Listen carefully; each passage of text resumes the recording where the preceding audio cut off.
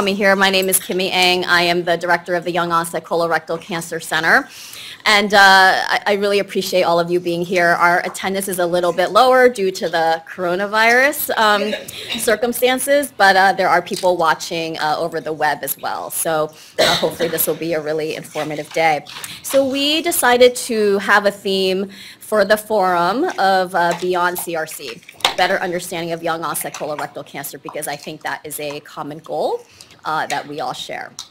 So this is what I'm going to go through briefly before I hand it over to the speakers, go over some logistics, review the agenda, introduce you to our Young Onset Colorectal Cancer Center team.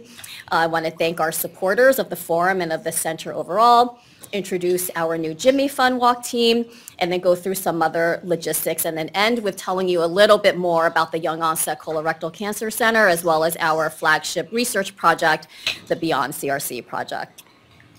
All right, so the evacuation plan, um, you are where the purple dot is. So basically you just head out towards the right and then the stairwell is there and then there's another one um, all the way towards the left uh, by the dining pavilion as well in case that is needed. And then uh, we apologize that the restrooms that are closest to here are broken today. So um, you have to, again, go out towards the right and then make another right to the Smith building where there are restrooms over there. Okay, we are here to help, so just flag anyone down if you uh, get lost or can't find your way. All right, um, so with the coronavirus uh, situation going on, we just wanted to remind you of some prevention guidelines. So uh, wash your hands with soap and water often, and if you don't have access to water and soap, use an alcohol-based hand sanitizer. Try to avoid touching your face, eyes, or mouth with unwashed hands. Uh, try to avoid close contact with people. Um, cover your mouth and nose with a tissue when coughing or sneezing and then throw the tissue away and then wash and sanitize again. Um, and try to avoid shaking hands, although that's hard to do, right? Um, good. So this is our agenda. I will talk until about 9.30 or so, and then I will hand it over to Dr. Giannakis, who will tell us about the latest genomic advances in colorectal cancer. We'll then have a, a question and answer panel with uh, four of our faculty take a short break, and then hand it over to Matthew, our patient keynote speaker, to talk about his work using humor and art uh, to, um, to navigate the cancer experience. And then we'll have our first breakout session, uh, followed by lunch and a resource expo. We have a lot of our supporters and foundations here with a lot of helpful information, so I encourage you to visit all the tables. Second breakout session in the afternoon, and then we'll gather back in here for concluding remarks. So I just wanted to introduce you to our Young Onset Colorectal Cancer Center team. Again, I, I'm the director of the center. Uh, Mary Brent, I think a lot of you have met uh, or spoken to or communicated with over email. She's our research and program coordinator. Lauren Bray, you want to, actually Mary Brant stand up? Okay. And then Lauren Bray is our research manager. Uh, if you have any questions about any of our research initiatives, she's here to, to help. Hollis is our administrative and social media specialist. You might have talked to her on the phone if um, you're a patient of mine. Um, and then Caitlin McDougall is the Young Onset Colorectal Cancer Center social worker. So she couldn't be here today, but she did prepare a short video uh, just to introduce herself. So I will play that quickly. Welcome everyone. I am Caitlin McDougall, clinical social worker here with the Young Onset Colorectal Cancer Center. I'm currently out on parental leave, disappointed to be missing this day that we've been planning for months. I've been a clinical social worker here at Dana-Farber for the past six years, and much of this time has been dedicated to working and advocating for young adults. Individual social work support is available for everyone treated here in the Young Onset Center. My role is to provide an extra layer of support for you in addressing things like how do I manage anxiety? How do we tell and support the kids? How do I update my coworkers? Or even just being able to process your experience. I often use this analogy in explaining my role to patients that when you're given a cancer diagnosis, you are now carrying this huge weight. I can't make this weight go away, but I can help you chip away at it. And the hope is that moving forward, things will feel a little bit lighter. There are many GI social workers here today running the workshops, please don't hesitate to ask them about our role, questions, and get connected to a social worker. We will also be continuing to run and create supportive programming for you throughout the year. If you make sure to fill out the evaluations, we can make sure to incorporate ideas and topics into our future events. I look forward to hearing from you and potentially meeting you in the future.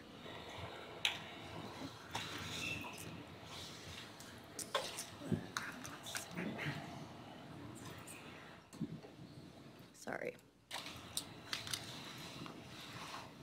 All right.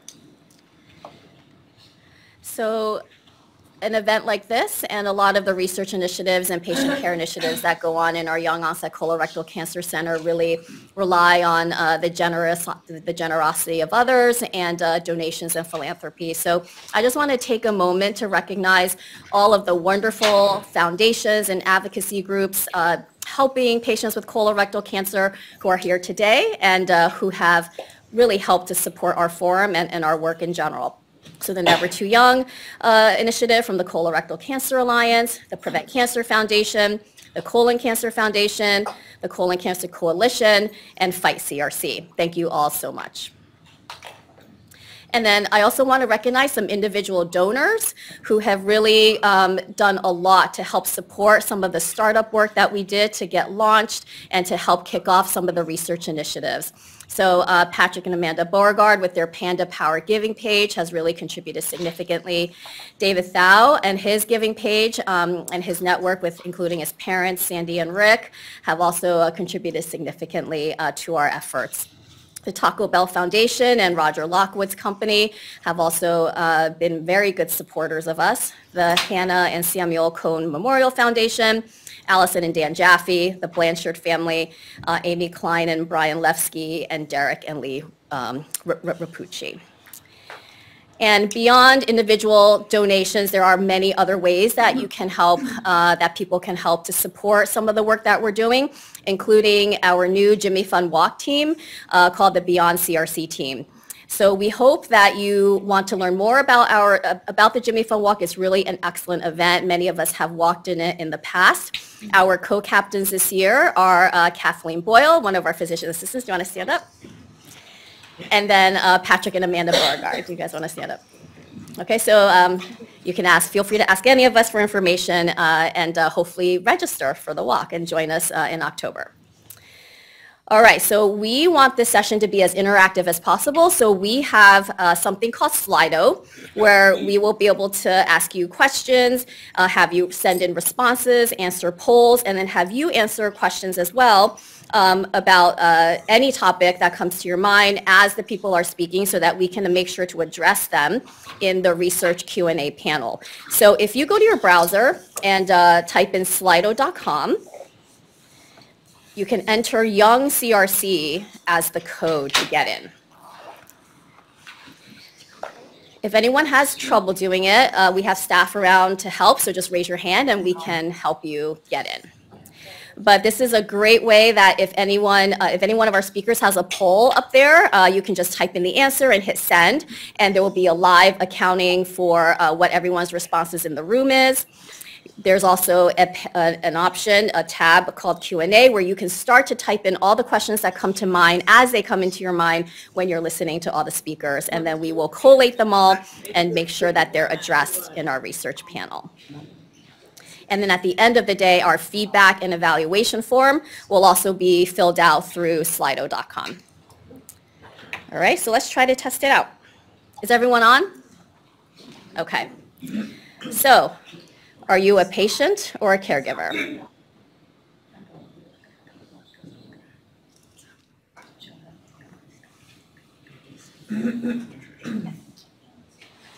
All right, so we actually have a few more uh, caregivers than uh, patients here, which is great. Okay, next.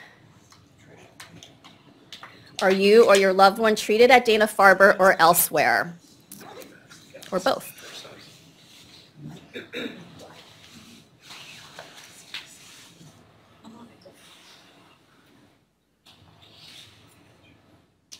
Good, I think that's a, a good mix of people here. Okay, did anyone have any problems using that? It's pretty easy, right?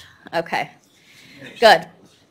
So you also got your straws um, at registration, and there are a lot of parts to it. So it's a little bit, I had to have a couple of tutorials before I knew how to do it. But basically, you take this shorter piece, um, you, you put on the, uh, the shorter blue piece, and then uh, put the larger one on the longer, and then connect the two. All right. And then there's a little um, brush here too that, that you can use to, to clean the straw. So trying to be eco-conscious, right? All right, good. Okay, so um, I just want to take a few minutes now to talk about some of the work that we're doing in uh, providing better care for patients with uh, young onset colorectal cancer, as well as some of the research initiatives. So we are all familiar with these statistics, but colorectal cancer rates are rising in individuals under the age of 50. And you can see here from the curves that this comes after a long period of decline where rates were decreasing. And then all of a sudden in the mid-1990s, something changed, and now rates are rising by 1 to 3% per year in both men and women. And this is in stark contrast to people over the age of 50, where there have been steady declines over the same period, we think largely due to the efficacy of colon cancer screening. This is not just happening in this area, it's happening actually around the country where the incidence of young onset colon cancer is increasing in 40 out of 47 states where we have available data. And actually, it's happening outside the United States as well. This is a global phenomenon where there's increased incidence predominantly in Western Europe. And you can see by these curves that the same patterns are seen where incidence is going up in people under the age of 50, but going down in those uh, older than the age of 50.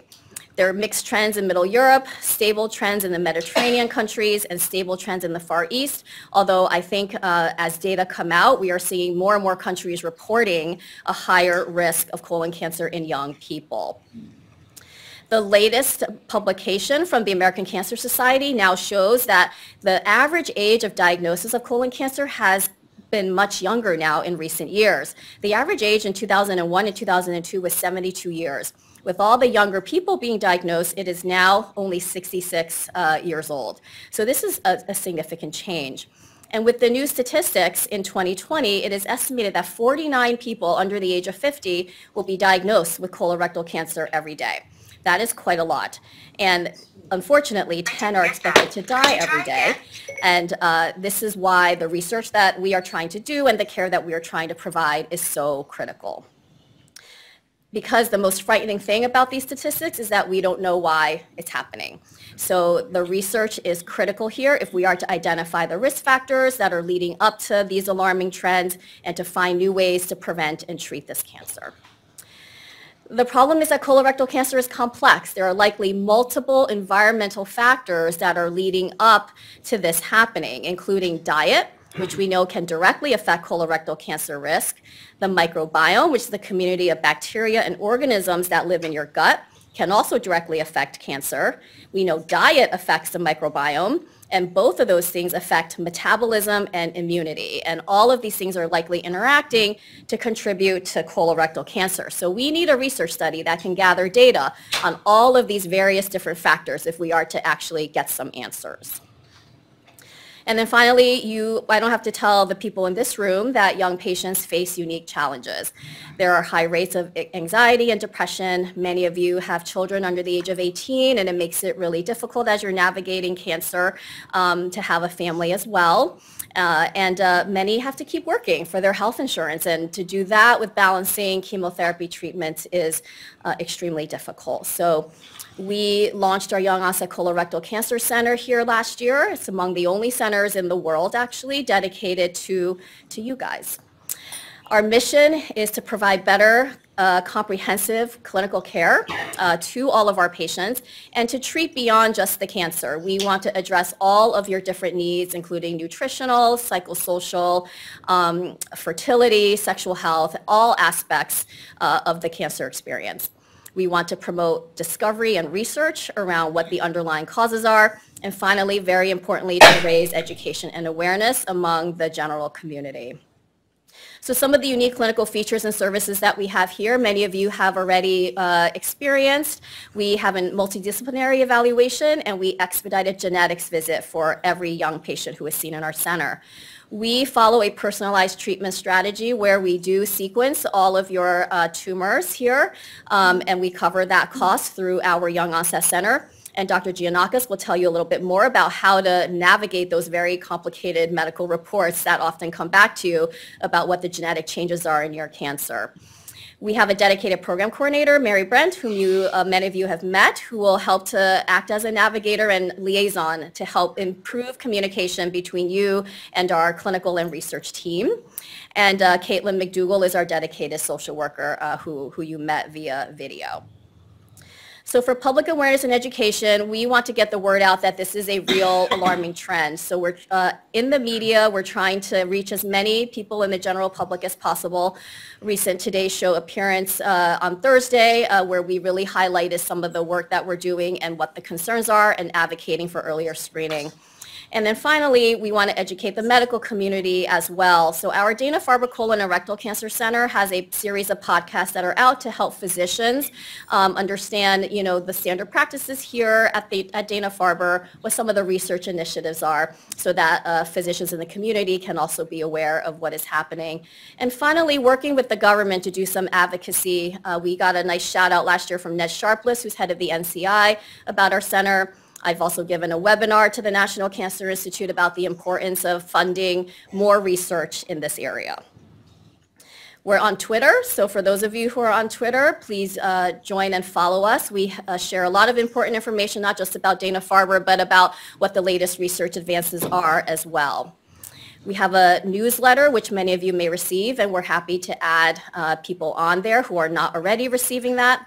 And then this forum will hopefully help to further educate and create a community for all of you to meet each other and, and share common experiences. And then finally, I just want to end by talking to you about our research project, which is also called Beyond CRC.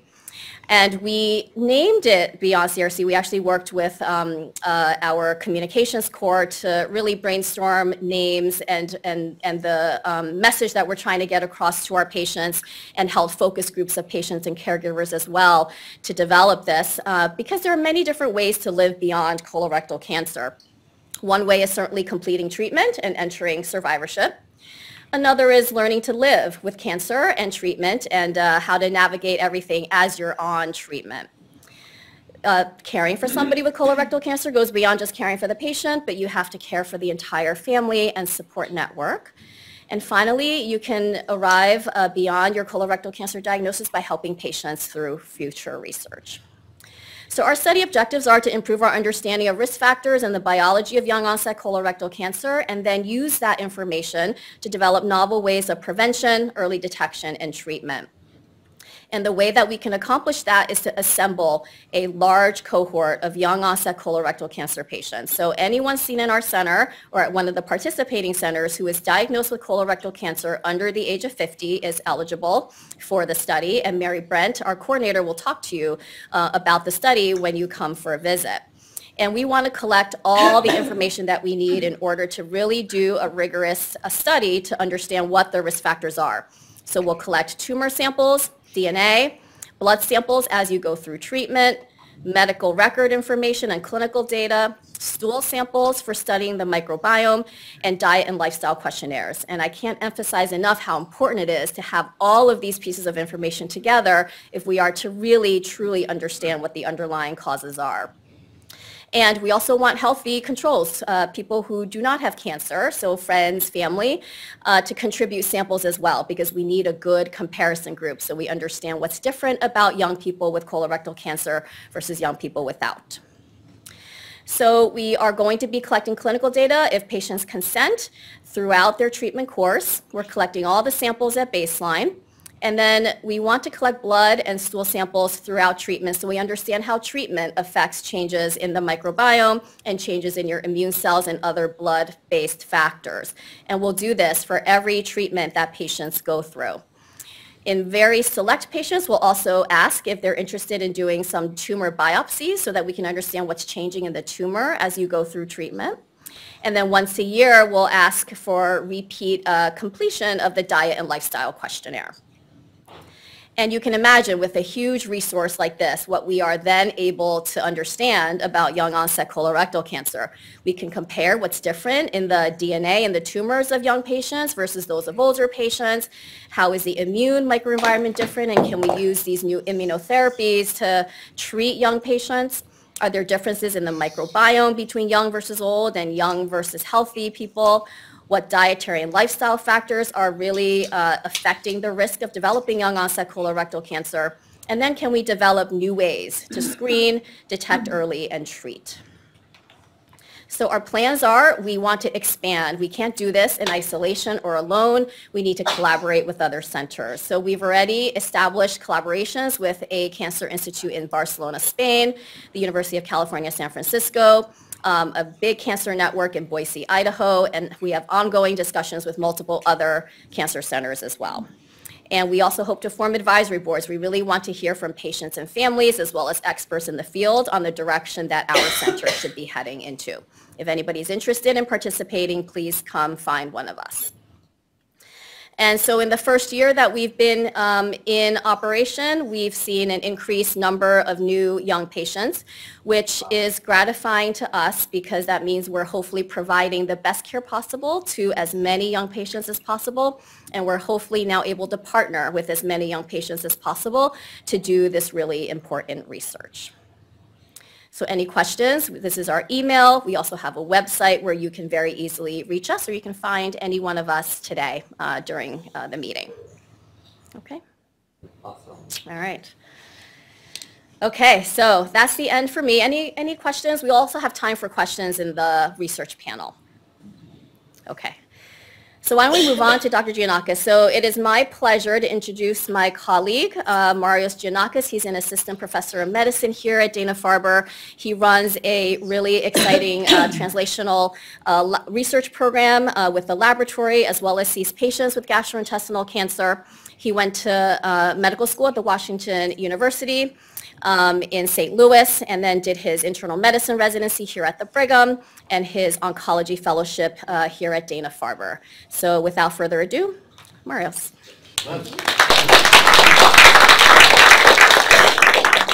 Thank you so much, uh, Kimmie, for, uh, again, the invitation and, of course, your leadership uh, in the young onset efforts. I also want to thank our team, uh, Mary Brand, Hannah, and Hollis, uh, as well as, of course, Lauren, who's here and everyone else who have helped actually uh, pioneer, again, uh, research and efforts around this important topic.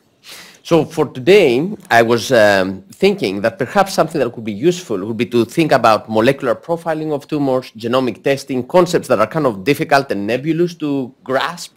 So we'll try to make this simple, interactive, you know, the point is not for me to talk here for 45 minutes. We don't do that, right? We want to, you know, have an opportunity, right, for you guys to ask questions as we go through these slides. The slides are actually not that many. Again, there will be a session for questions afterwards, but I really would encourage you as we go through to, again, interact as much as possible. So yeah, tumor molecular profiling and how to interpret results. We figured, and these are some of my research disclosures, Again, in the laboratory, we have grants uh, from multiple sources, including some of these companies. So perhaps we should start with our questions. Um, Hollis, do you want to do the interactive Slido thing? And again, don't feel that this is a test. So just to get a sense, what is the molecular testing method that has been used uh, either for yours or your loved one's cancer? Is it sequencing for hundreds of genes, for example, foundation medicine, OncoPanel, you know, is it sequencing for a few genes, limited, that's option A. The cancer has not been profiled, that's option C, and there's also a I don't know option, option D. That seems to be the prevalent one right now. so again, we can have some time. All right.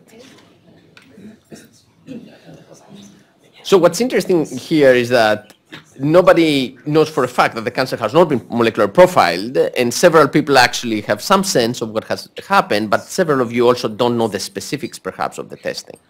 Okay, great. And we'll go, of course, over those.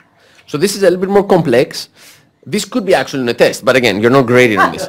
So which one of the following molecular events, mutations, changes, alterations, that could be picked up in some sort of molecular testing. For example, next generation sequencing, we could actually target which one we could use some novel therapies for.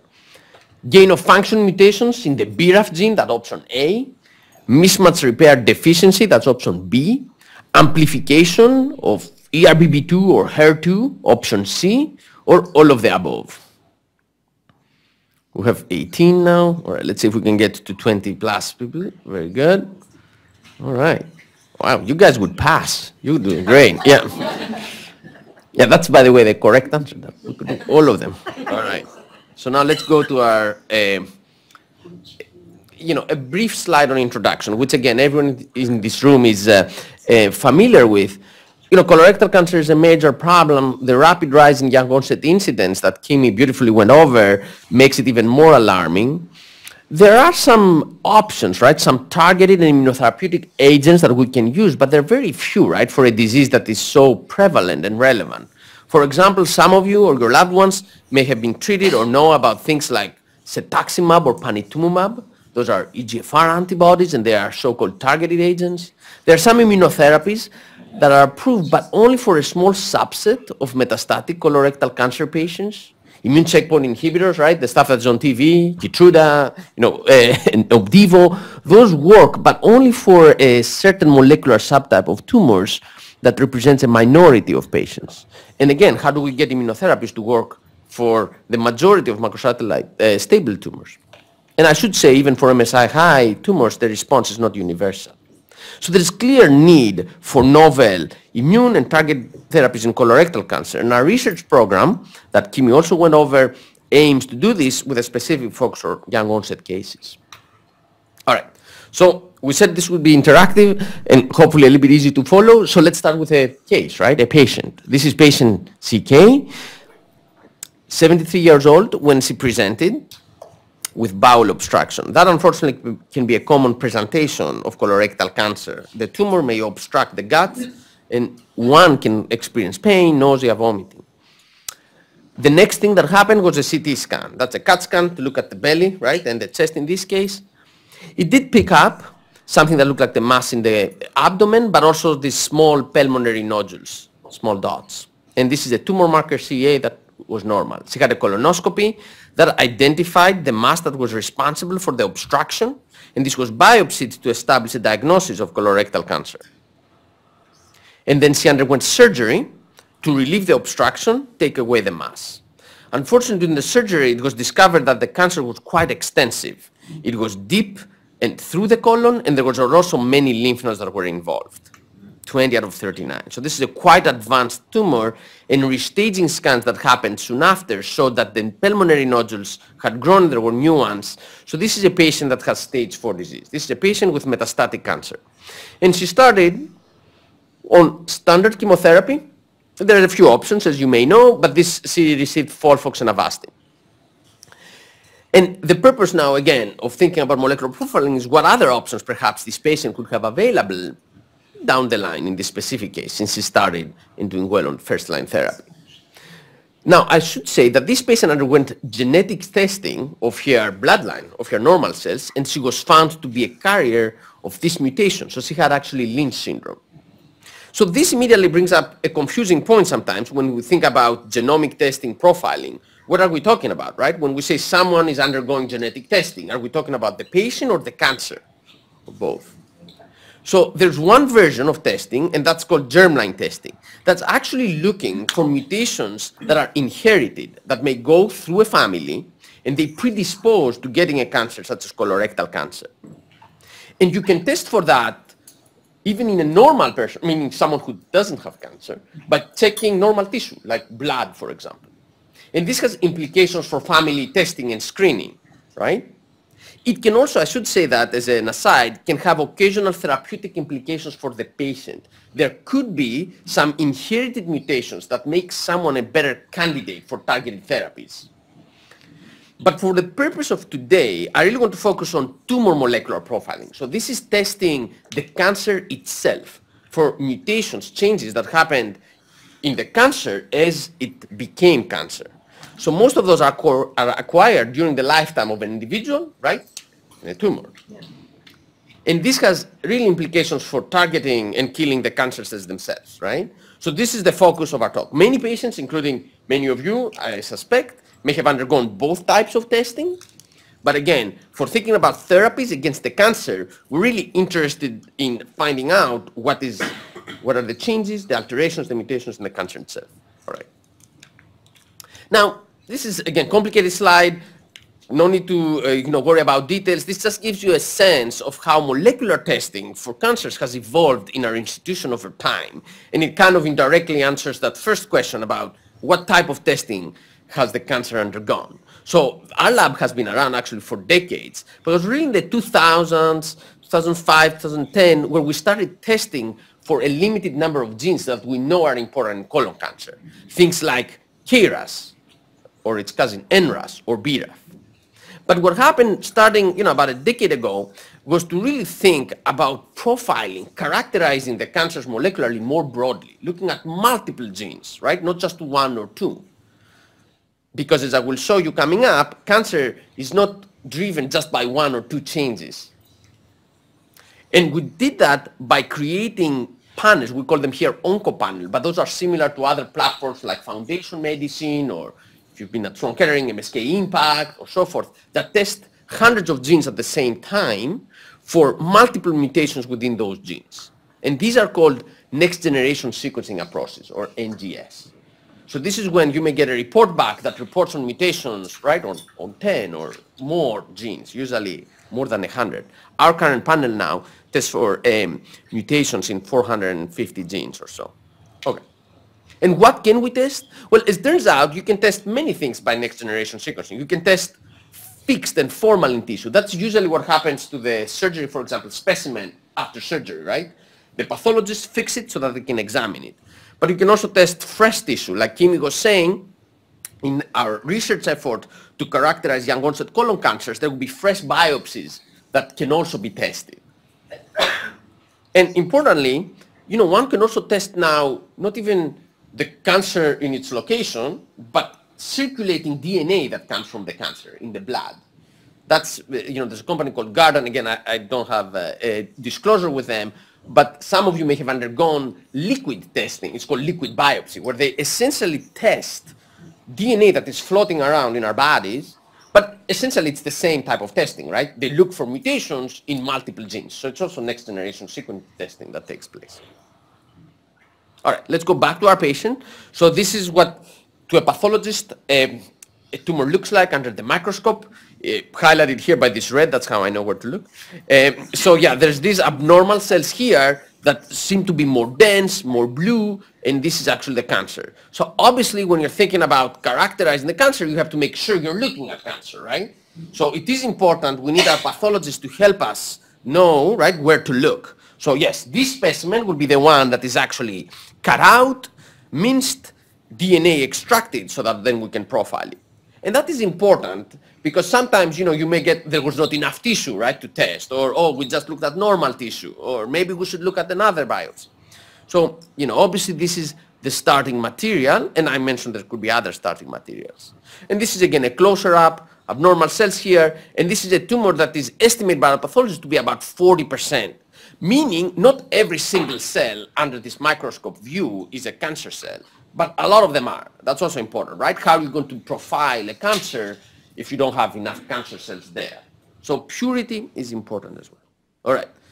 Okay, this is supposed to be, on purpose, the most confusing slide, right? So this is what comes out. So after you do all of this, so you grab the specimen, right? You extract the DNA, you sequence it, and this is what this next generation sequencing, in this case OncoPanel, looks like. All right. Can we make any sense of this? No, right? Because what you have here are really, you know, a variety of labels here. Tier 1 variants, Tier 2, and then genes. This is a gene, BRAF, ERBB2, PIK3CA, ALK. You, you pick your favorite here. And then a whole bunch of other designations that follow it, right? What's it? PL7, 5, 5, exon 19, 4. So again, this is clearly and, but this is actually what the report will spit out, actually. This is what you may receive if you've undergone foundations. You know, there is some effort to interpret it and we'll go through. So how do we really make sense of this, right? How do we interpret this? And more importantly, how do we make some treatment decisions, right? That's what we want to do, right? This is not an intellectual exercise. We want to go from this to like new drugs or existing drugs that match the patient more precisely, perhaps, than we, what we currently have. All right, so how do we start with this? Well, so again, let's back up a little bit. Again, some of those slides are with a course that you know I helped develop uh, with uh, the Harvard Medical School, but really cancer is a genetic disease, right? We have normal cells in our bodies everywhere, including the colon, that usually go about their business, right, proliferating. And there are some signals that either say go, divide, or stop, right? The go signals, think of them as gas pedals, right, in the car, go. The stop signals are like brakes. But what may happen over time, or randomly, or due an exposure, like Kimmie was saying, could be the diet, could be the microbiome, you know, things may happen to these normal cells that cause mutations, changes, that interfere with the signals, right? So maybe the gas pedal genes or signals are becoming stronger, right? The gas gets stuck in the own position. Or maybe the brakes that, you know, the cells need are disrupted, right? So these mutations interfere with the normal, right, cell cycle or life of a cell. And there could be other mutations that make the cells evade the immune system or metastasize, for example. All right. As it turns out, these gas pedal signals and these tumor, these you know, belong and are encoded by genes. They're made by genes in our bodies. And the genes that make those gas pedals are called oncogenes. And the brake genes are called tumor suppressor genes. So it's not enough for a mutation to happen in a gene that we think is relevant. It has to be the right mutation in the right context. For example, a gas pedal gene for the cancer to become cancer needs to change so that the gas pedal becomes stuck, right? More dominant. It's called the gain of function. These genes make the cancer proliferate more by mutations that make them better gas pedals, right? Conversely, what type of change needs to happen in a break for the cancer to occur? Well, it's a loss of function. The break has to be broken, right? So you need disrupting mutations, like break the gene if you're talking about a break, or make the gene stronger if you're talking about the gas pedal. That's what the cancer needs, right? So that's kind of important because we need to understand the function of mutation and its role in cancer. So let's go to some examples in colon cancer. These are some of the genes that some of you are familiar with that are oncogenes. They're the gas pedal genes. KRAS, BRAF, PIK3CA, HER2, and some others. And these are the tumor suppressor genes, the brakes, APC, P53, BRCA, RNF. So again, these guys need to become more active for the cancer. These guys need to, be, need to be taken out, right? So we're looking for mutations in these guys in the right context. So now let's try to see if we can make this complicated picture a little bit clearer. So now what I've done is only one thing. I took all those myriad of genes that were here and I highlighted in green if they are gas pedals, oncogenes, or brakes, okay?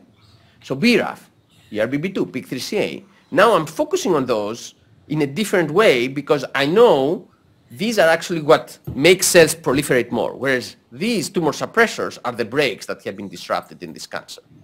Okay. Is this enough to make a decision? Can I now go to a patient and say, okay, you have all these oncogenes that are mutated. I recommend therapy against this, this, this, you know, all those 15 things. No, because, yeah, please. Question. Are you supposed to have, is it supposed to be 50/50? What's the normal? I, breakup? yeah, it's a good question. So, yeah, this, actually, you're right. This kind of turned out to be 50-50. uh, it's not supposed to be always like that. And there's no, you know, every cancer is different. I'll talk a little bit more about the relevant ones out of this. It's much easier to disrupt something, like to break something, right, as you know from, you know, from the house, than to make something work a little bit more effectively. So usually mutations that are in the breaks are spread and more frequent. But there are some key, you know, oncogene mutations that make something better that are found in pretty much, you know, every colon cancer. Like I give you some example. Like this we don't have KRAS here, but I mentioned KRAS. 50% of colon tumors have some mutation in RAS, so that's pretty common. But APC, which is the brake, it's one of the brakes that we discussed, like here is mutated in about 70 or 80%. So overall, the brakes are more commonly disrupted, but you have both in cancer. But if it's, if there is not a cancer, what's the break between the positive, the gas pedals and the brakes. Oh, like in a normal cell? Yeah, what- Oh, in a normal? normal cell that has not, not mutations, just normally what we have. Yeah. Yeah, it's about, yeah, that's a good question. I don't think anyone has ex- exactly answer that because we don't know the function of every gene in the genome. We have, we have about 20,000 genes that we have in our genomes. Uh, so nobody really knows exactly, but you know, you can think of it as like a balance of factors, right? Of genes that maintain. That is actually an insightful question. You said in a normal situation, right? But how does everybody work together? But actually that's one of the issues that we don't know exactly the function of every single thing, right, in our bodies. And that's actually one of the challenges. So conversely, even if we find a change in it, we don't know exactly what to do about it.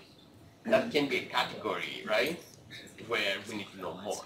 Lack of knowledge is still our limitation in, right, fighting the cancer. Yeah, please. Okay, and I'm sorry if you said this over here, Oh. but can these offset each other to narrow I down see. what to treat? Yeah. Like your stuff that's throwing on the gas and you Yeah, have yeah. stuff that's throwing on the brakes. Did they, Yeah. can you work them together to figure out which Right. of these is the best to target for an overall result? That's actually a fantastic question for my next slide, Oh, which is sorry. how no, no, I, I didn't pay you anything, right? Maybe behind the scene. but that's a, that's a fantastic question. As you said, there's many, like look at this, there's many things happening right now at the same time, as you said. There's mutation of this guys and this guy.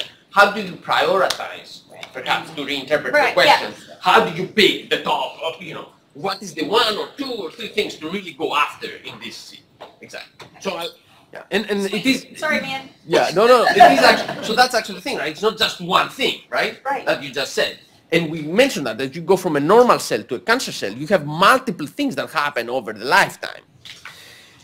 And the trick is to really try to distinguish which ones are really important, right, for cancer to happen, which of those changes are just along for the ride, right, like passenger mutations. So we call those the driver mutations, the ones that are really key, those red dots here, like one, two, three, four, maybe.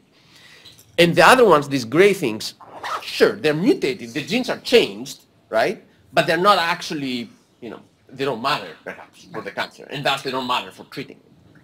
So we really do need to understand kind of, you know, whether a mutation is really driving, whether it's a gas pedal or a brake, whether that specific change is actually critical or relevant mm. for cancer to become cancer. That's, that's the challenge.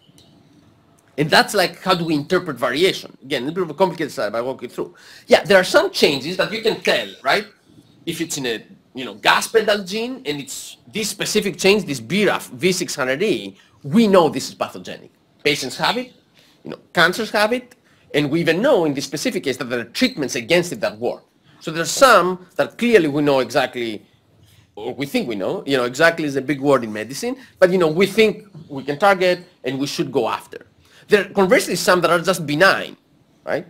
Meaning, sure, there could be a brake or a gas pedal that is changed, but the cancer doesn't care and neither do we. And those are things that could be very common in the general population, right, for example. The tricky thing is sometimes there's these things that are uncertain. We actually don't exactly know. Going back to your question about, you know, what's the balance in normal cell or in the cancer. Yeah, you see a gene, you see it mutated. Does that matter? Is this something to go after? Is it something worth investigating more? And these are the so-called variants of uncertain significance. You can try to get some clues regarding them. For example, if something is frequent in the general population, it's, you know, if 10% of the globe carries this mutation in this gene, well, it's probably not causing colon cancer, right? Because then, you know, uh, uh, we will have a, a, a huge problem. Or, you know, could you look at it maybe in the lab? Like, go, as Kim was saying, we can go back in the lab and see, can we study the function, not only of the gene, but of the mutation? Or maybe can do computers in silico, right? And say, can we predict what it would do? So there's some ways around it, but clearly this is an evolving field. So something that even in the report, right, it says, we, it's, don't worry about it. I don't know, maybe in three years we'll come to you and say, oh no, this is really worth going after, right? So it's an evolving field. But not all mutations are created equal. So now let's go back to our profile. So now we added one more information. We still have the oncogenes, the green things, the gas pedals, and we have our brakes, the tumor suppressors. But now, by taking into account the specific change, again, I don't want to know the details, but we're supposed to know, you know, the specific change in the gene, we're trying to say if this is a driver mutation or just a passenger. So immediately, all these guys over here, that's why they're tier 4 variants, by the way, they are passengers. So yes, there can be mutations in oncogenes, or tumor suppressors, but we don't think they're actually critical for the cancer to become cancer. So effectively, we're going to ignore them. But these other guys that I kept here, this green guy, this green guy, this green guy, and these maybe red guys, we think are actually driver mutations, either in gas pedals or brakes, okay? So we narrow it down a little bit. We still have a few though. So still the question remains, what am I going to do next, right? I'm the patient, what should I be treated with? I do want to make a small point on something, and that's this idea of how exposures can affect the cancer. Well, sure, it can be individual mutations, right, that you see in genes, but sometimes due to an exposure, you can see mutations throughout the cancer that give you a clue as to what caused them. For example, smoking, as it turns out, causes this, it's called a mutational signature, causes multiple mutations in multiple genes, and you can say, aha, this was caused by smoke. There's something called a tumor mutational burden. There's some processes that increase the number of mutations in cancers, and that can be a clue as to what caused it. In colon cancer, we briefly alluded to that, there's something called a, a DNA repair defects that tumors may have. They can be inherited or acquired, and those cause something called mismatch repair deficiency. The cancer cannot repair its own DNA, so then a lot of mutations happen, right? It has so many mutations that it actually looks different, right? The mutational pattern strikes you. It stands out. It says, hey, look at me. I have like a lot of mutations. It actually not only says that to us who are interpreting the molecular profiling, it also says that to the immune system. So as it turns out, these mutation, these tumors that have so many mutations on their surface are actually being recognized and attacked by our immune system with immunotherapy. So those are the cancers that are eligible for immunotherapies it's like walking down the street with like a feather hat and a muumuu, you know, you will attract some attention right? from the police. So, you know, if they mention the police, they will recognize those cancers that look so bizarre, right? That, uh, you know, will be homed in, for lack of a better analogy. But as it turns out, next generation sequencing can also pick that up, right? So next generation sequencing can only pick up changes in individual genes, but it can also tell you whether, for example, this cancer is mismatch repair deficient. This specific patient was indeed mismatch repair deficient, and that's why the tumor had so many changes, right? Okay, so we really need to understand from the molecular profile of the tumor the genes, what the genes do, what the mutations do, and what the driver mutations are in the biology.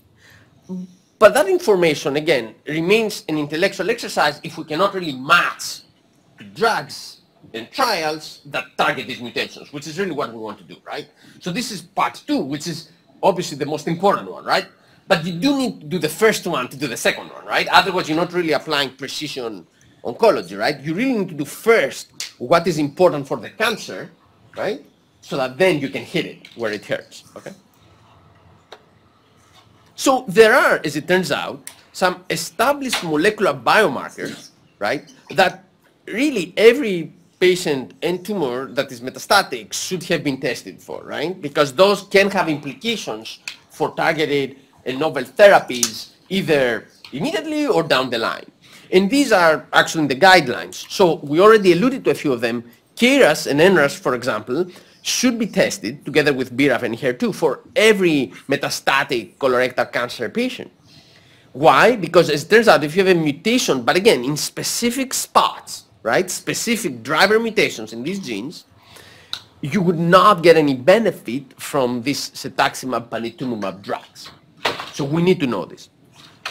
BRAF V600E is a specific mutation, we kind of went over it, right? That's a gain of function mutation that makes this gas pedal, BRAF, better. So we need to know about it. But there's another therapies against it. There's actually a triple combinations, for example, and uh, dual combinations with BRAF inhibitors, drugs that hit this guy, and this other drug called the MEK inhibitor, and cetuximab panitumumab. So these actually, there's a trial called the Beacon trial that has been reported, right, with the triple combo, and the double combo was presented in, in uh, GI ASCO. So yeah, we expect a patient that has this mutation to derive some benefit from targeted therapies against this. So we need to know about this. Similarly, HER2, ERBB2 amplifications and mutations are important to know.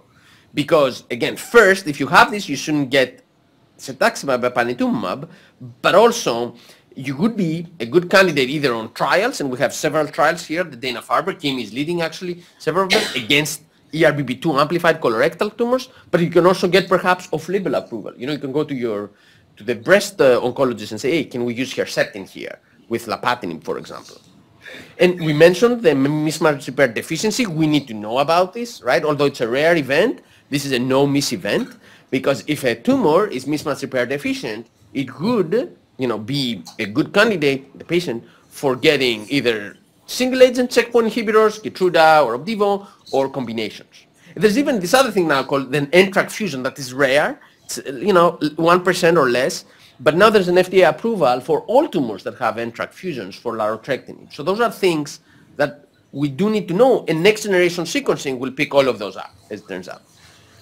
But, you know, there's perhaps the other avenues, novel agents and clinical trial for these and other molecular changes. So this is perhaps, again, I don't get money from any of the NGS companies, uh, but this would be an argument to be doing the larger testing, right? That you can perhaps look more broadly. And to be honest, thinking of financial toxicity, to be testing for all these events individually is also very expensive. So NGS can actually be a cheaper way, you know, to um, cast a wider net. Okay, so how do we, because obviously although we went through how to interpret molecular, right, information in OncoPanel, if you guys can do that tomorrow, we should all hire, you know, we should just hire you, right?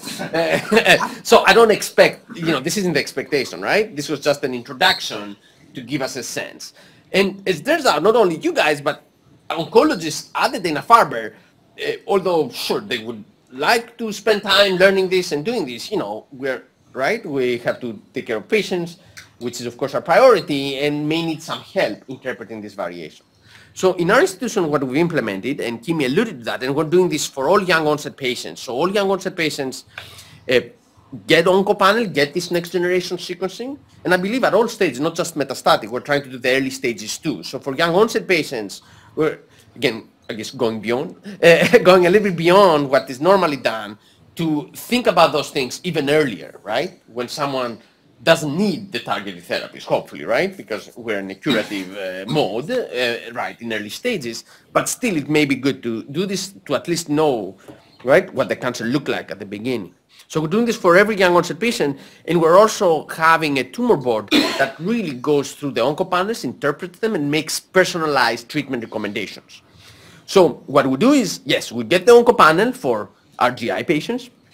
We then identify these changes of interest. Again, we essentially do what we just did together. We go through gene by gene and find the variants and try to see if they are truly driver mutations, driving the cancer forward, breaks that are disrupted. And then we use also software as well as our own knowledge to match these specific changes to clinical trials that are available at Dana-Farber or make off-label recommendations. And we generate this report. And again, the tumor board uh, is consisted of medical oncologists like myself, our pathology colleagues, uh, as well as teams like Lauren and Emma participate in this, uh, members of our team, to really come up with uh, reports that can be, we think, easy to read and go back to your question, you know, prioritize, right? Really speed out and say, do this first, do this second, do this third, when, if, when you need to. Yeah, please. Um, I just kind of, this is more like a compliment just for this program because like when I was in, diagnosed in 2012, they, I found I was KRAS mutant, I didn't have one Lynch, and I didn't have FAP, and that was it. Hmm. And then in 2015, I got tested again, and it's still okay, you're still MSS, you're KRAS mutant, there's nothing else really coming on. And now, you know, 2020, I'm on a trial, and I went into an office where three things were set out in front of me versus just saying, Right. I'm sorry, we really don't have anything because it's my first appointment with Dr. Ng.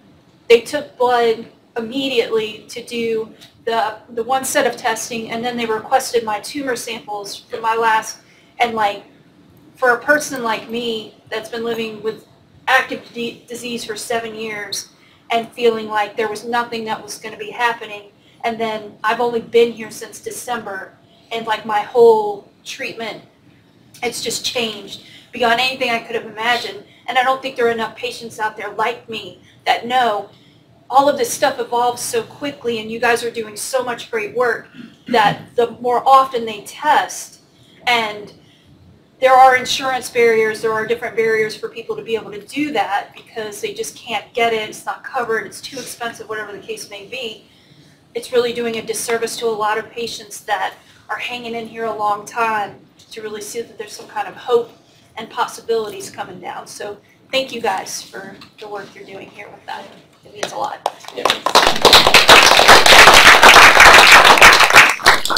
And, and thank you again for sharing your story.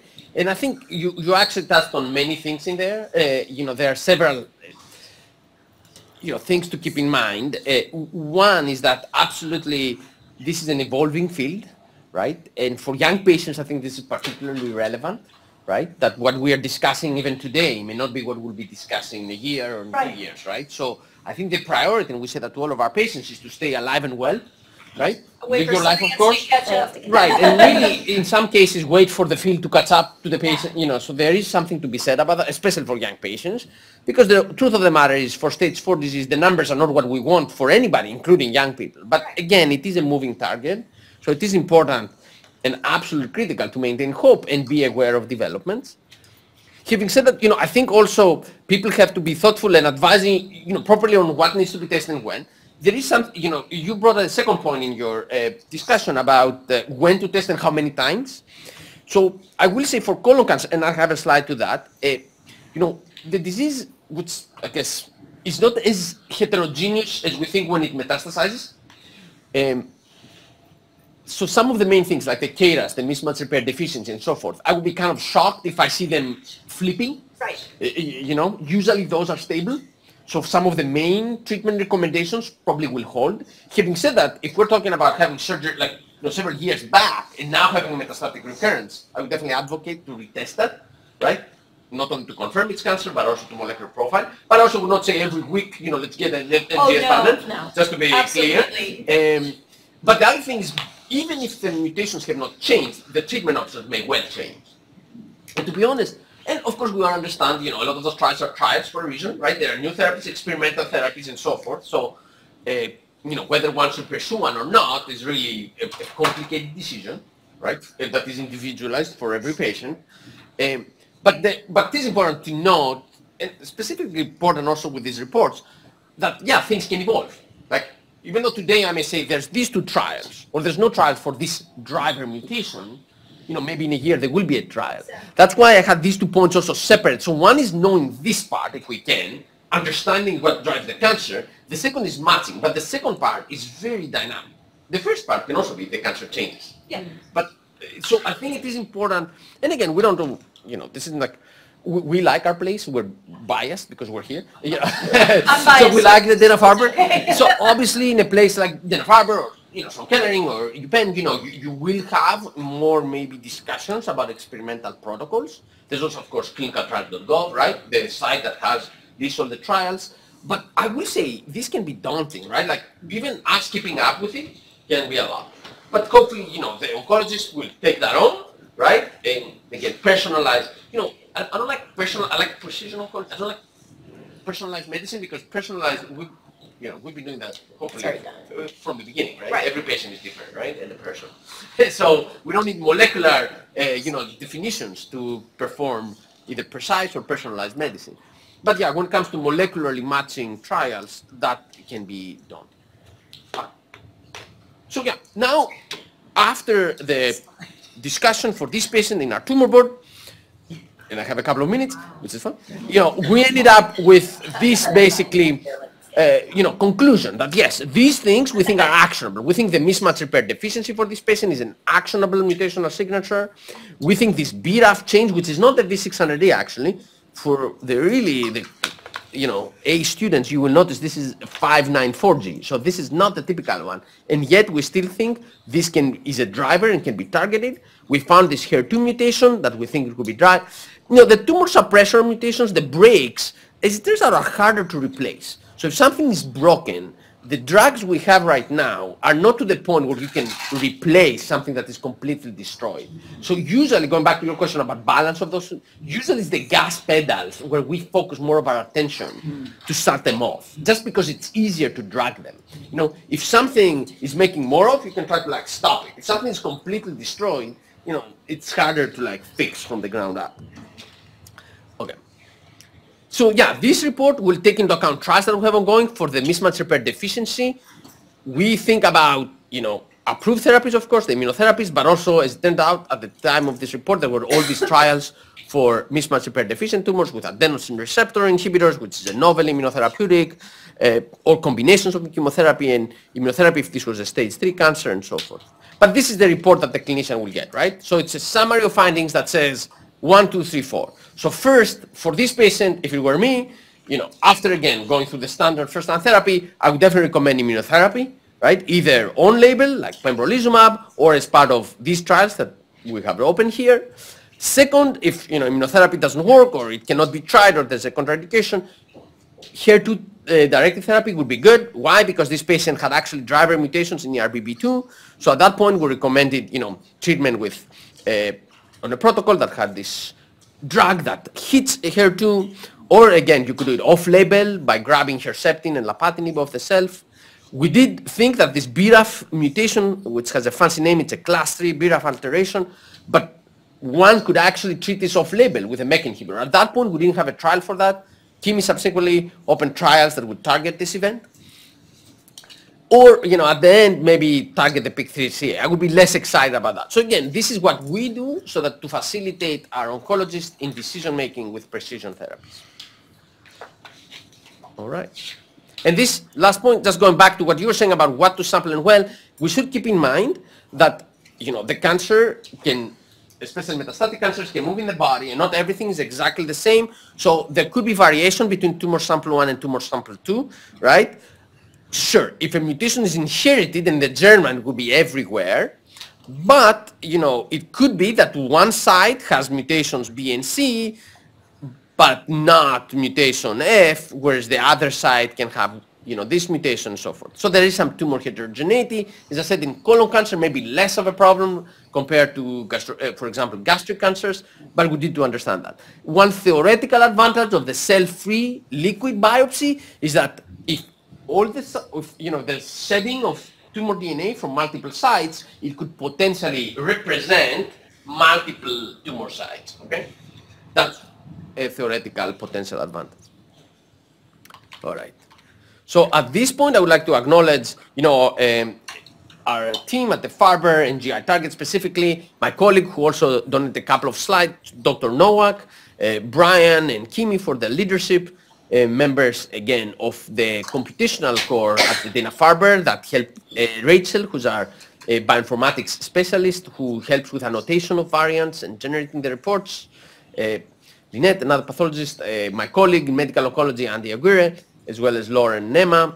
Uh, and again, some of those slides were borrowed from an HMS course uh, we developed, um, and of course, our patients and their families. Thank you very much.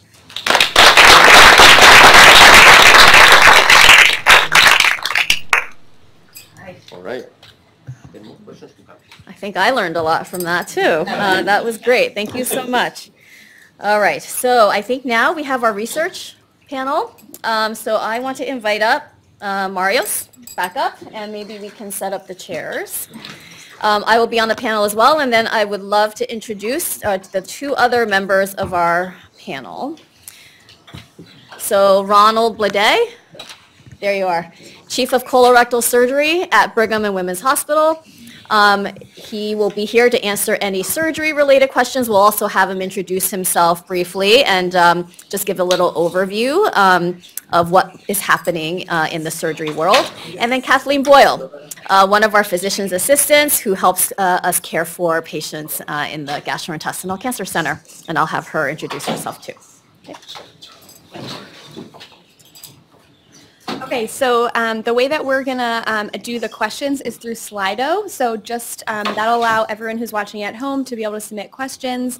And then um, also we have these microphones here so that everyone can hear them with the questions from the audience. They can't hear it as much from home.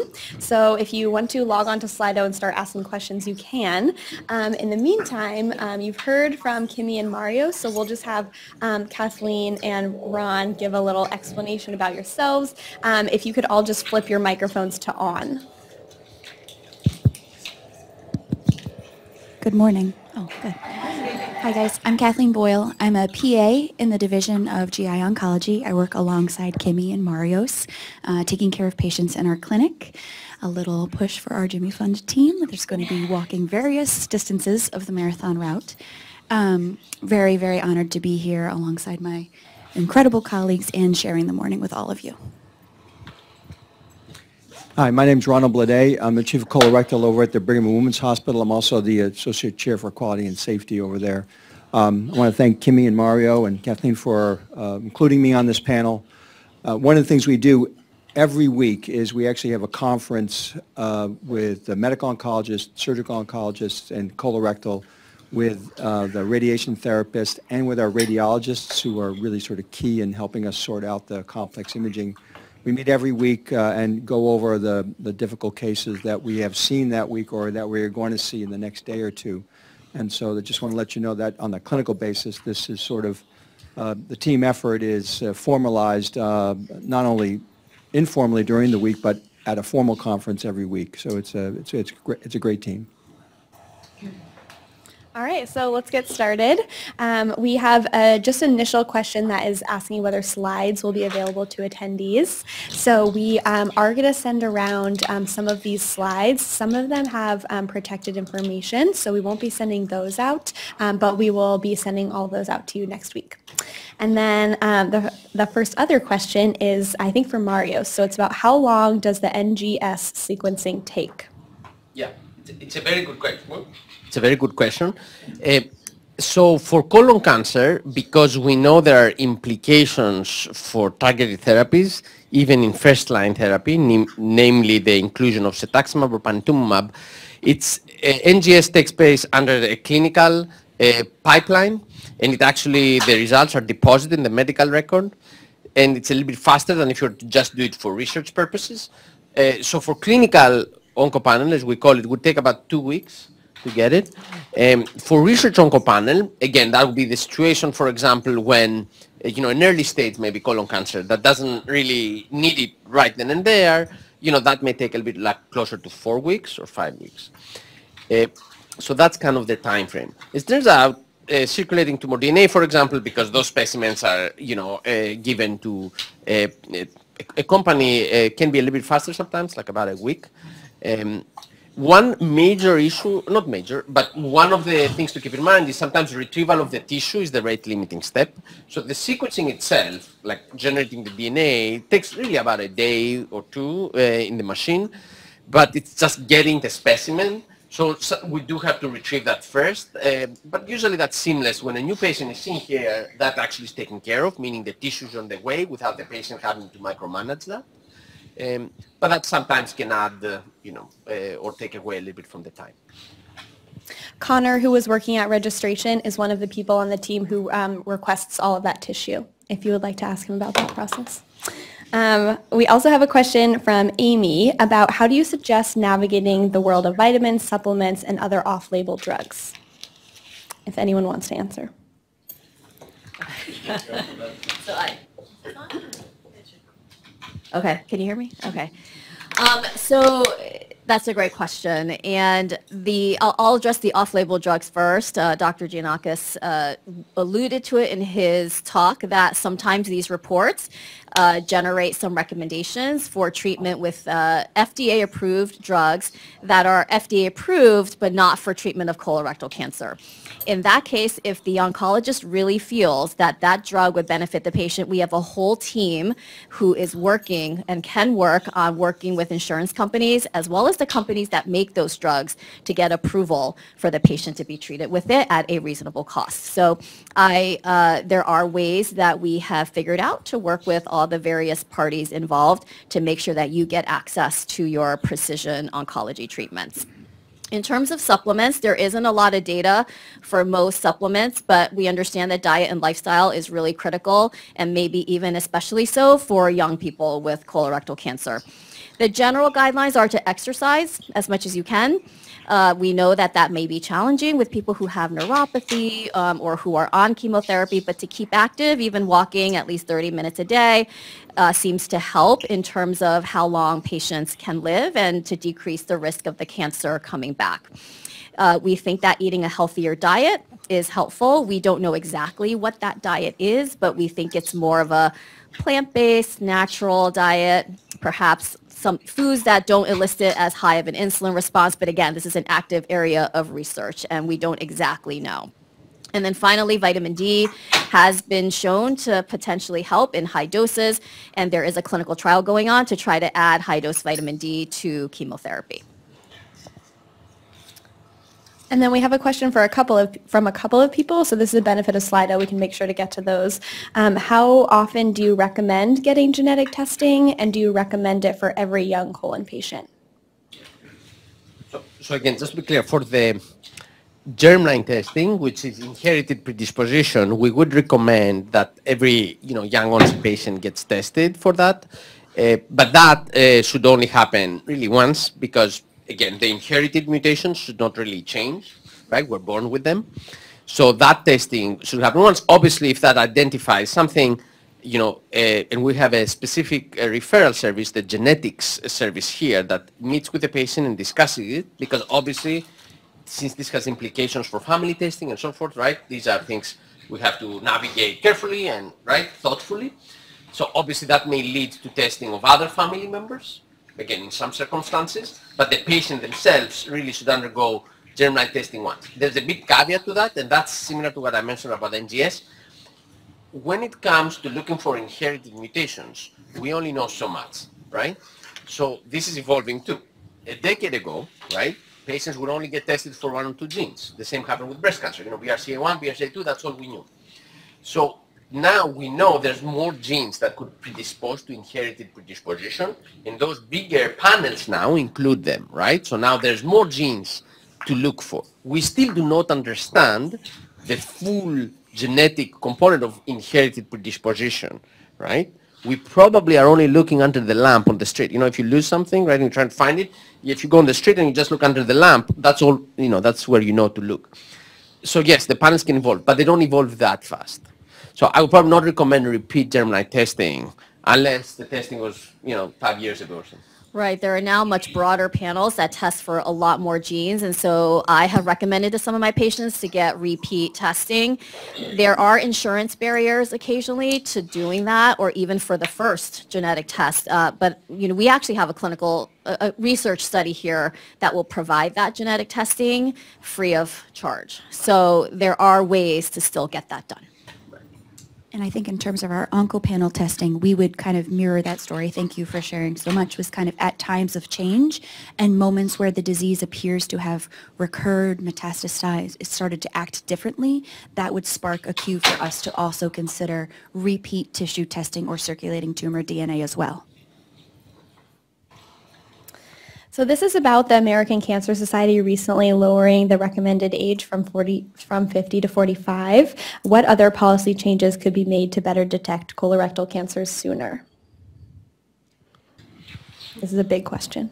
I may not get toward policy change, but one thing I do want to kind of build off the slides that Kimmie shared in the beginning is kind of that age incidence is increasing in younger people. There's also a lot of retrospective data showing how many providers patients need to see before actively going, having their uh, cancer diagnosed, which I think is an incredible benefit of rooms like this and people in these rooms to advocate, provide awareness and education to the general public in terms of recognizing symptoms that could have previously been explained by, you know, had a tough week, not eating right, oh yeah, I'm always kind of tired. Now making more awareness, but that's not really the policy question. Yeah, this has been actually brought right up to the top levels of the Partners Healthcare Organization uh, in terms of particularly the people on the front line are the family physicians.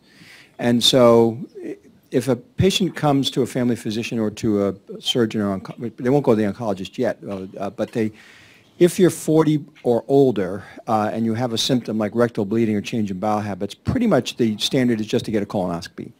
Um, uh, it usually and almost always is paid for if it's with a symptom. Uh, the issue is in people under age 40.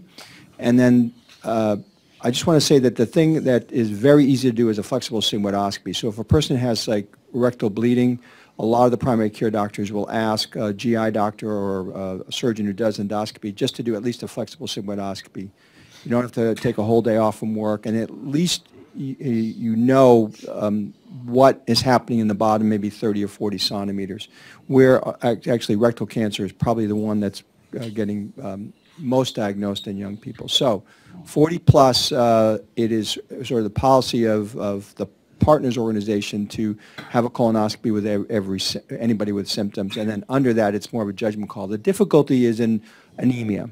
A lot of young women are anemic, are anemic just because of uh, uh, menstruation and heavy menses. And so it is, um, you have, the primary care doctors have to do a very careful history about, is this from heavy menses or are they having uh, GI bleeding where they then have to get scoped?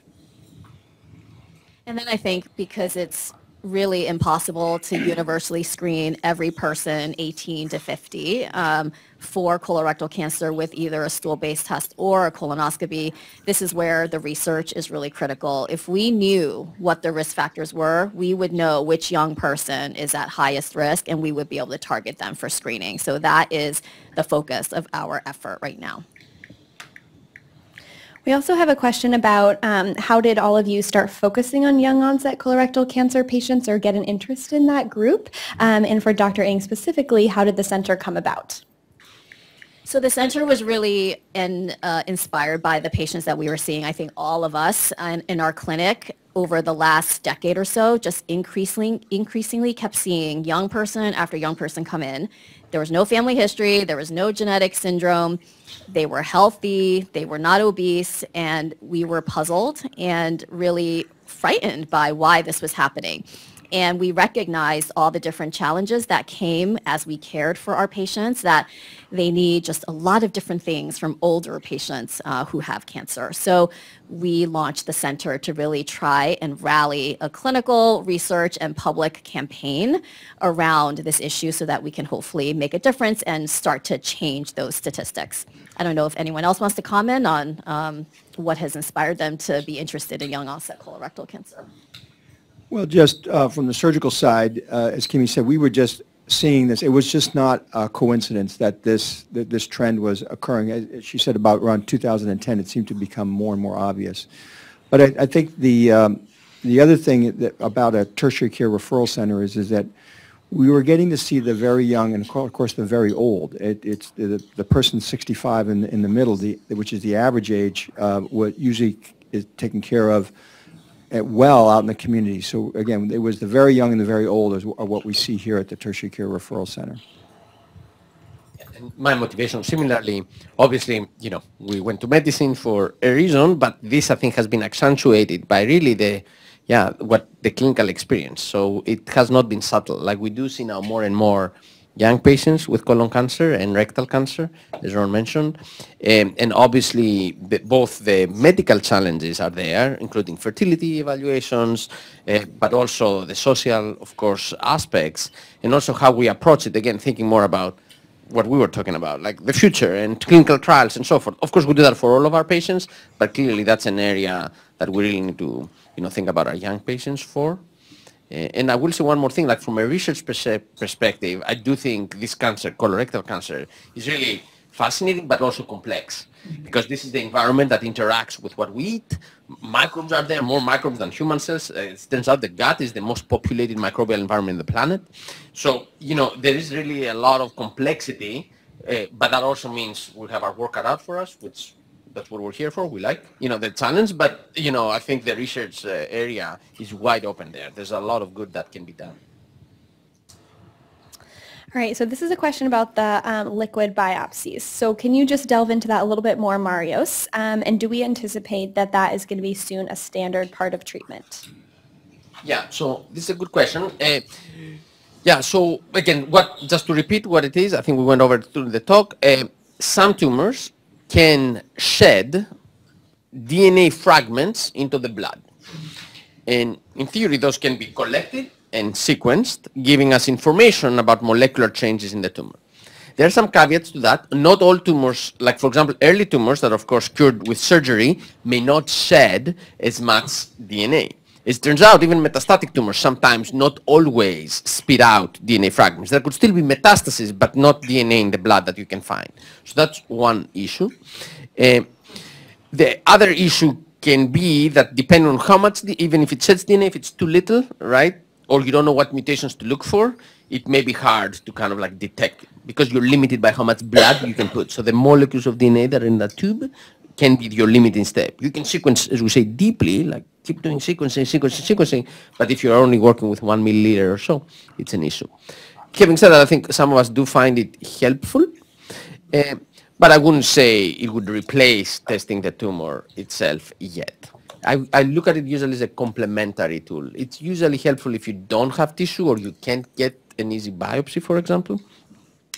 And it can be as, uh, you mentioned, uh, an ongoing, you know, it's easier to do than doing biopsies all the time. So yeah, if you do feel there has been a change in the clinical state and the patient maybe is too sick or not really a biopsy candidate, that can be used.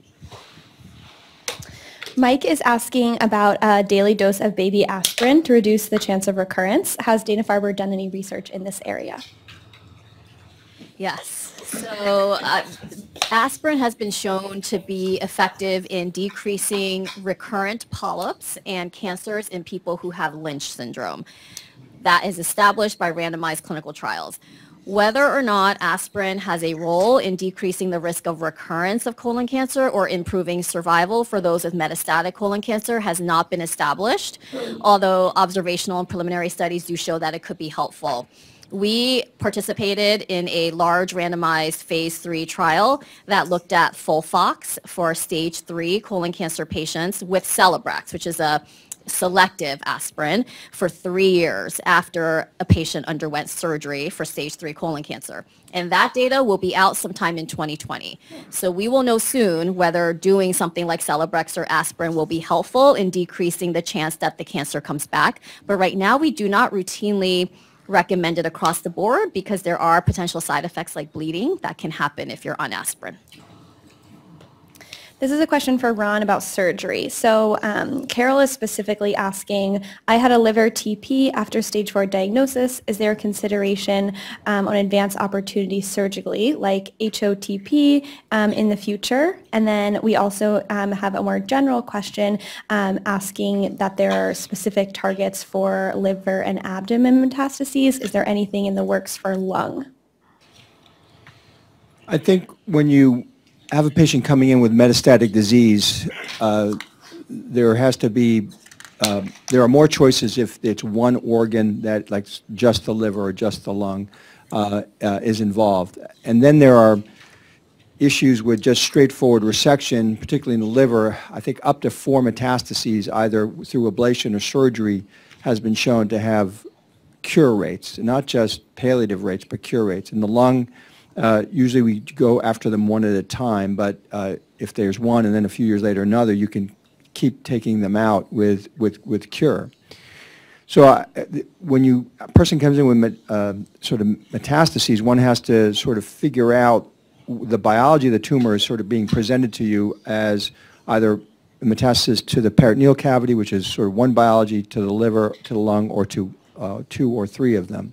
So I think specifically for the liver, there are a series of ablative techniques, which conceptually they're all the same. You can either freeze them, you can burn them, or you can remove them. Uh, and I think a lot of it is done depending on the anatomy of the of, of the lesion. If it's sort of the periphery and not near a, a important vascular structure that you literally can't live without, then surgery is the best.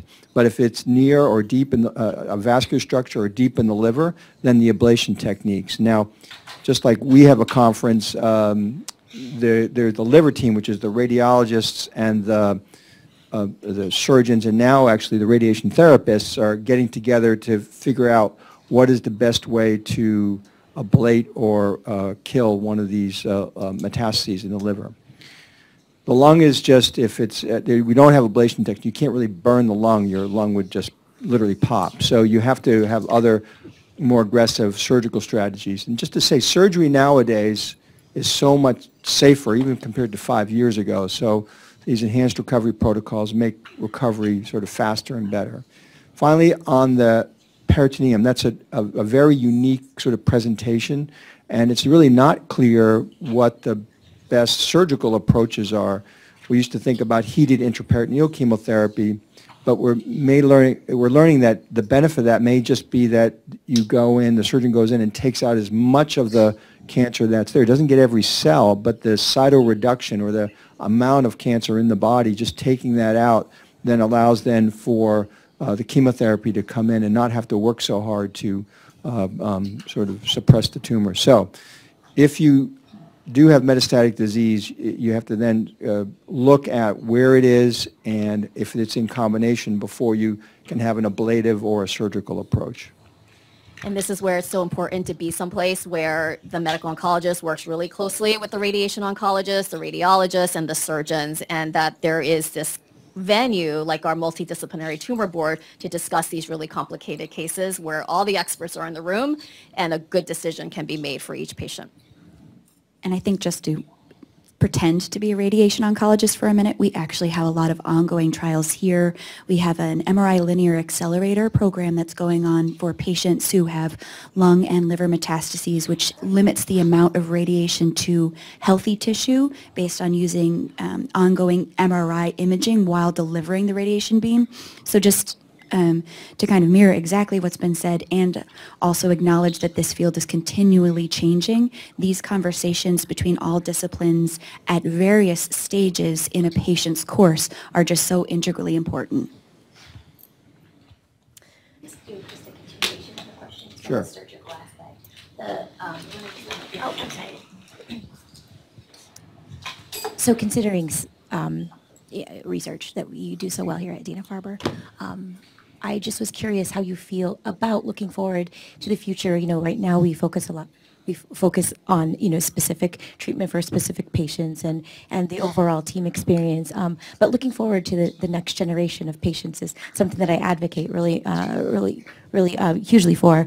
And um, so my question is, is really related to hard work organ transplant looking into the future. Um, And how do you feel here at Dana-Farber about the opportunities that could exist um, with transplanting?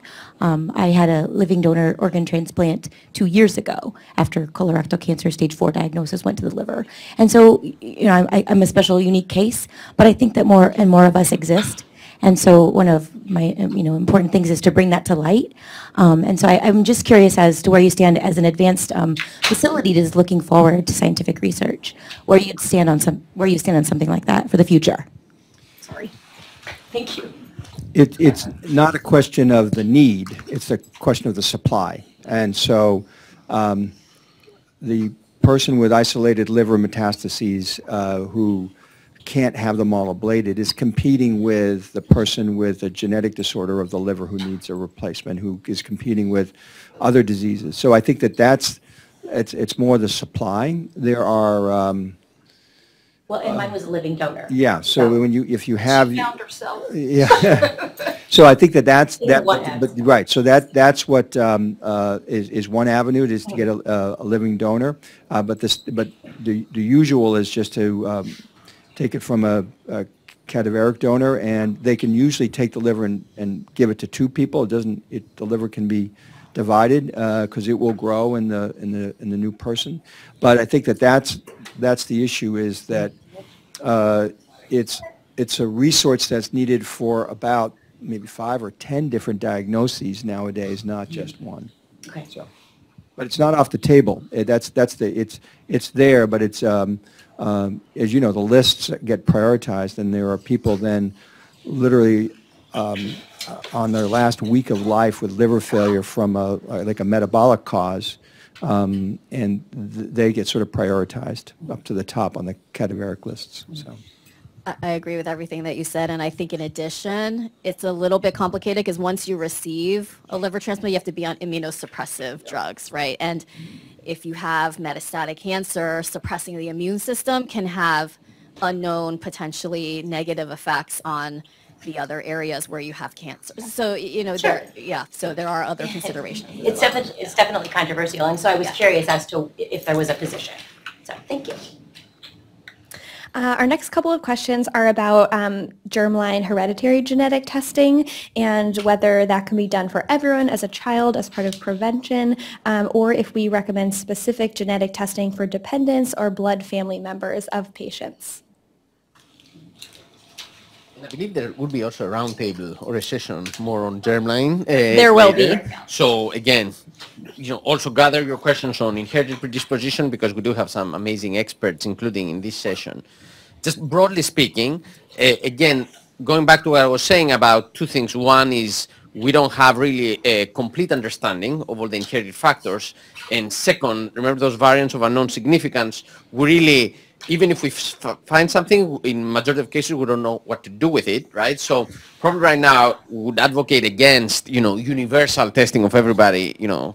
Uh, we may get to that point in a hundred years, you know, where you just uh, on birth, right? You know exactly that you'll get diabetes at age 33, but um, we're, we're clearly not there yet. Actually, I don't know if you guys know, 23andMe was giving some of that information and FDA said, you know, we have to be careful here, right? Uh, you need to really be thoughtful about what you tell people uh, when the data is not there. So I, I think what usually happens is a patient, the case gets tested, right? So the patient who had a diagnosis gets usually is the first person to enter the medical system and get tested. And yes, if you find a pathogenic mutation there, because then you can link it to the diagnosis, right? You have a patient who has colon cancer, and now they have a mutation that is, uh, that's the starting point to get into family testing, right? Because now first you know what you look for, right? And you know it's relevant patho- you know, pathologically because you have a cancer patient in front of you.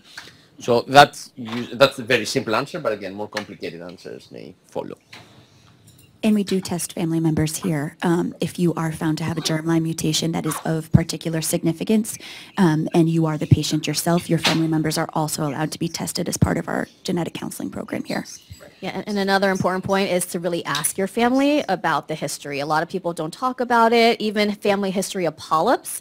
It's so important if your family members have had an advanced polyp because that could change the recommended age at which you start screening or family members start screening. So that will go a long way in prevention and early detection if people just talk to their families about what the history is. Uh, One more point, it also changes the surgery. So if you have a, a particular, particularly Lynch syndrome, you- as the surgeon, you want to know that prior to the operation because you need to do not only a, pro- you know, a surgical cure operation, but you also have to combine that at the same time with a preventative operation for a lot of the colon. You, you still won't need an ostomy in most cases, but it, it's, that, knowing that information will actually change the uh, operative approach. I guess one last point is, as Kim mentioned, it's important for patients to know their family history, but now for young onset patients, you're now also somebody else's family history. So it does change the guidelines for screening for other people in the family. If you have a relative, right, that was diagnosed at age, because normally we don't start colonoscopies till 50 or now 45 with the new guidelines. So I think that's probably even more important. You know, germline testing, you know, agnostically, I would say for people to know that yes, we did have know, a cousin or right? Realizing, of course, there's challenges to that, right? Obviously, who you tell and how you tell, but that actually is relevant because it does push this colonoscopy sooner, especially for first-degree relatives, right? Yeah, because if you're like 40 when you're diagnosed, the relative, you know, the close relative should be have a colonoscopy at 30, for example. Okay, one more question. Actually, just raise the question. Um, I'm, so my kids have J, JPS, same as I do. So my question would be the, as far as the look back goes, um, how would you handle, um, like the preventative, like, ta- you know, removal of the colon, or how, how would you look back at that when, like, like a diagnosis at 40? I know that it's like a 10-year look back, but how would you do that if they were already, like, if they were screened, had the, the same, you know, markers? How would you, how would you do that? Any recommendations? Well, yeah. Like preventative surgery, I guess, I mean, like, would you Well, I prefer to think do the- that? most of the data is with Lynch syndrome, and what, what happens is if a person presents with a right colon cancer and they're 35, uh, it could be a sporadic cancer or a genetically related cancer, and the operation is different.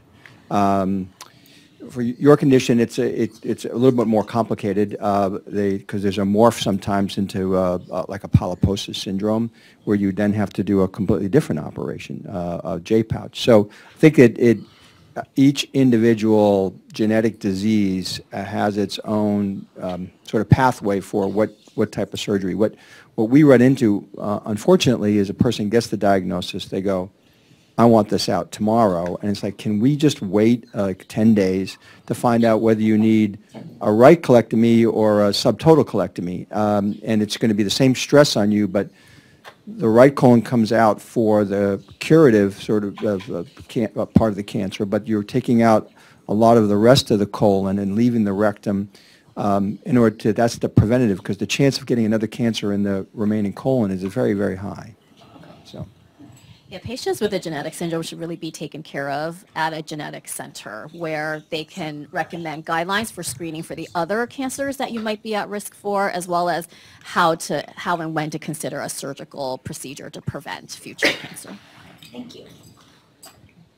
So this is a question um, about research in diet. Are there any current lifelong studies if diet is causing the rise in young onset colorectal cancer, such as tracking the daily diet, um, whether it's vegan, vegetarian, low sugar? So we have been doing that kind of research for a long time, not just for young onset colorectal cancer, but for all uh, ages of colorectal cancer. And we're fortunate here to have access to huge cohorts of people. So healthy people followed over 20, 30 years. We asked them to fill out questionnaires every four years about their diet so we can assess change over time. We have blood samples. And when they do get diagnosed with colorectal cancer, we can collect their, their tumor as well and, and sequence their DNA. And using those studies where we've tracked people for 20, 30 years, we have found that certain features of the diet can be associated with a higher risk of developing colon cancer uh, such as a Western pattern diet, which is your McDonald's French fries diet, uh, is associated with a higher risk. Um, this is where the studies on vitamin D also uh, first originated and were found to be helpful. But for young onset colon cancer, it's harder because actually there are still in terms of absolute numbers, few patients. We need probably thousands of young patients participating in studies like this with diet and lifestyle information for us to really be able to do the research to figure out what exactly in the diet may be causing this and how does that interact with the microbiome. So we need stool samples. So a lot of these things we don't have yet, which is why we're trying to do that with the Beyond CRC project. Yeah, one, one of the current research projects we have in, in our group is to try to link the dietary data that has been collected in this prospective cohort with now collections like molecular information, the mutational signatures I was referring to. So we are trying to see if there's an imprint that certain types of diet lives on the DNA that could be driving cancers in people. So that's ongoing research, uh, but we are taking a look to, to have a more direct link between diet, mutations, cancer. But the link between diet and cancer definitely has been established. And it could be multiple ways too, right? It could affect multiple components. It could affect normal cells directly, like as a genotoxic insult, you know, processed meat, for example, has a lot of nitroso compounds that can damage DNA, but it could also be immunomodulatory, right? Diets can affect how strong the immune system can be, right? Which could perhaps survey for cancers. Or, as Kimmie just alluded to, it could affect the microbiome, which in turn could be impacting. So I think there's a lot of unknowns, but no shortage of hypotheses and research projects to test. Marios, also for you, this is a question asking if the cancer spreads to other areas, will the cells at other sites have the same mutations as those in the colon?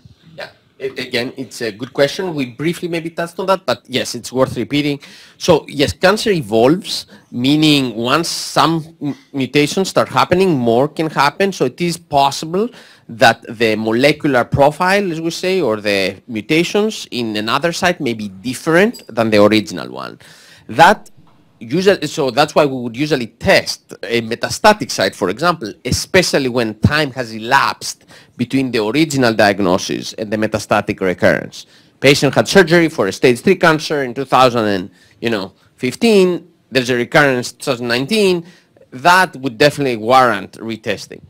I would say in colon, based on some research of us and others, it is true that the major things, mismatch repair deficiency, KRAS mutations, BRAF mutations, those usually do not flip or change as much, but there are exceptions. Um, and the other point, again, we mentioned that with circulating tumor DNA, you can also you, you, know, get maybe a sense of multiple metastatic sites. So what I would say practically is if your molecular profiling, first of all, if it's relevant, meaning if we're talking about an advanced cancer in need of novel therapies, I would look when the last one was done. And if it was, you know, recently, within a year or two, that's probably good enough, but if not, maybe worth repeating. Kimmie, can you tell us more about your vitamin D work um, and whether that confers a prevention benefit for colon and rectal cancer? So we have done a lot of studies that show that higher levels of vitamin D in the blood are associated with a lower risk of developing colorectal cancer in otherwise healthy people, but also that higher levels in the blood may be associated with a lower chance of recurrence of the colon cancer and maybe longer survival if you have metastatic cancer.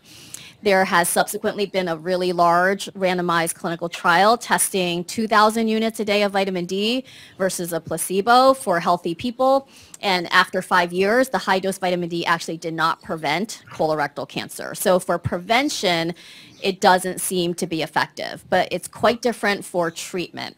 And we did a phase two trial that added high doses, 4,000 units a day, to FOLFOX and bevacizumab chemotherapy and found that the people receiving high dose had significantly longer time until their cancer progressed and uh, the survival was was improved. So now we're doing a big phase three study with the National Cancer Institute to try and test that and really confirm it.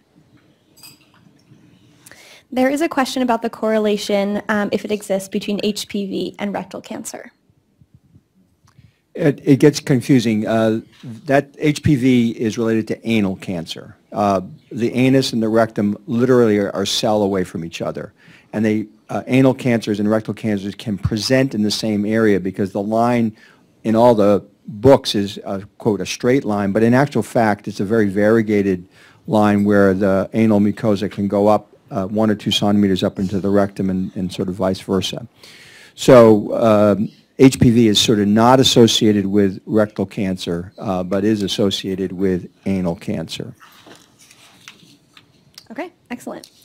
So um, when we look at the research available um, clinical trials for a patient, do we match people with only clinical trials at Dana-Farber or also all open trials? Well, uh, yeah. Okay. So for the specific initiative, um, the GI target report that we mentioned, the matching is um, essentially facilitated by a software that you know scans through the criteria. Just because of the sheer number, like if you ask me now, what are the trials available at Hopkins or MD Anderson, and what are the eligibility criteria? Unless we have the same trial here, which sometimes happens, right? Some some of the especially later stage trials are shared among centers, it's just not possible to do. So logistic reasons dictate that. The approach we've used is to really focus again on the first part on the biology. So to say this is, you know, if I had it my way, I really would, you know, hit BRAF in this cancer, you know? So start there and then try to figure out what potential strategies against that are. So maybe if we think about the biology we want to target, then we can go through the trial portfolio. You can even call up, say, hey, you know, Sloan Kettering, I have a, you know, my tumor was profiled and has like a BRAF mutation. You know, what trials do you have targeting this, for example? So the biology points us to strategies, but yeah, the specific protocol numbers that are listed on the report are from our institution just for logistical purposes. Clinicaltrials.gov is an interesting site. It can get overwhelming, right? Because it has a lot of information, a lot of contacts. The other way though would be to just, you know, plug in, if you want, some of those key changes that are highlighted by the report, and then maybe call investigators in the institutions before making the trip over. I think Marios even highlighted in his slides that we have this MatchMiner program, which will match institutionally clinical trials that are available, but that doesn't necessarily mean that while they may match with the mutations the patients have, that they're actually the trials we would advocate for. So using the care providers that you have, either here at Dana-Farber or locally, to bring to the table you know, these are the studies I looked up at clinicaltrials.gov. What of these seem to make any sense? And allowing those people to advocate on your behalf is really important because the plethora of potential studies is enormous, but the number that may actually be beneficial and worthwhile pursuing could be much smaller. And the GI oncology world is very small, right? The colorectal cancer research world. So we generally know what the interesting studies are, what is going on, uh, what the major studies are going on that are worth pursuing at various institutions around the country. And so talking with your doctor about that, they can really advise you.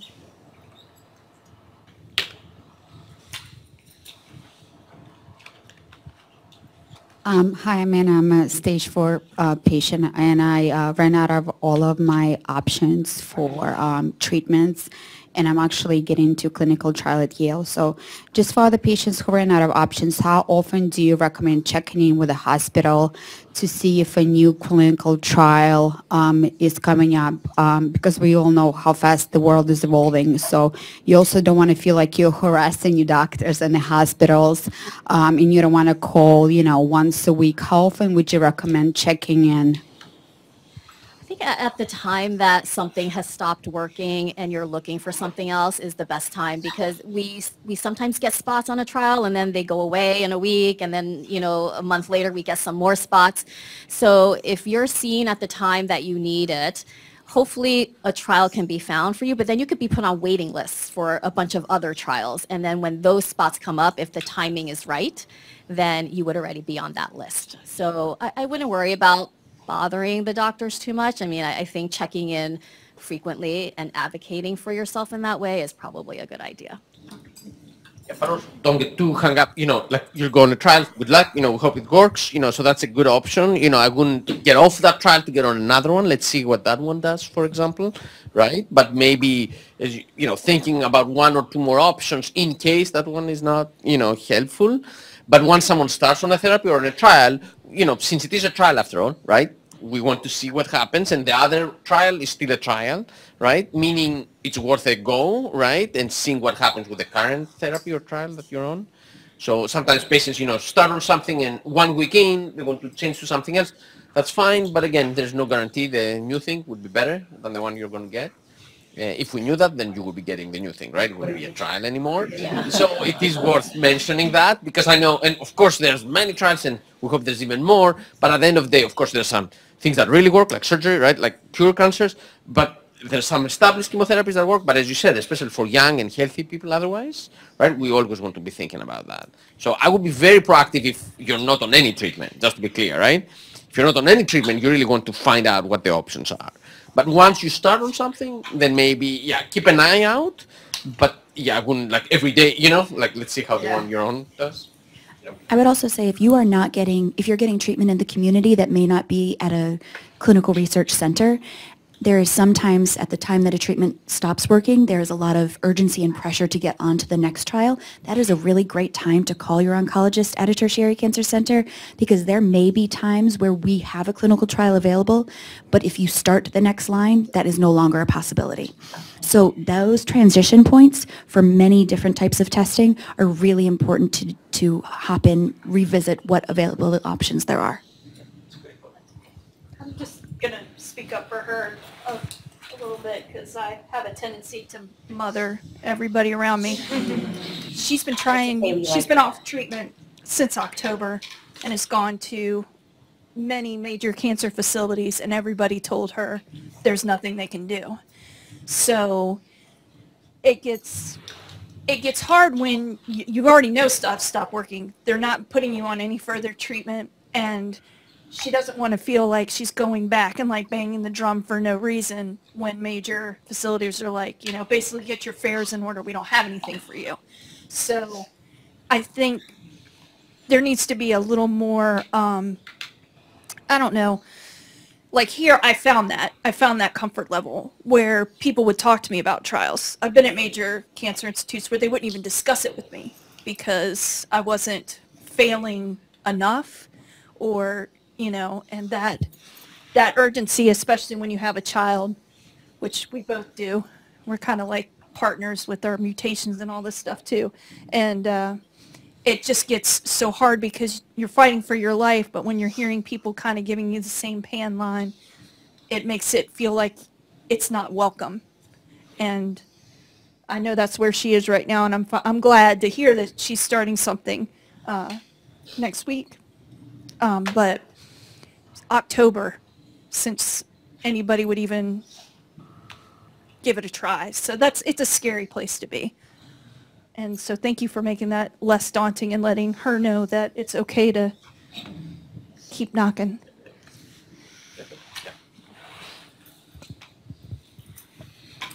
All right, so I think that um, is a good place to end. So we are going to um, go to a break now. There are snacks in the dining pavilion where we all had breakfast. And I also just want to let everyone know a reminder that the bathrooms are down this hall. Um, and we are validating parking. So if you didn't get that validated at registration, We're going to get started again. It is really our honor and pleasure to have Matthew Mewhorter from, all the way from Virginia here. Um, He is a stage two colon cancer survivor. He was diagnosed at age 35 and uh, created this amazing comic called Cancer Owl to help him navigate and cope with the cancer experience of a young patient. So he is an art-based licensed therapist. Uh, he lives in Northern Virginia with his wife, daughter, and two cats. Um, and he's currently uh, doing quite well from the cancer standpoint and has dedicated his life to really helping others use art and humor uh, to cope. So without further ado, Matt.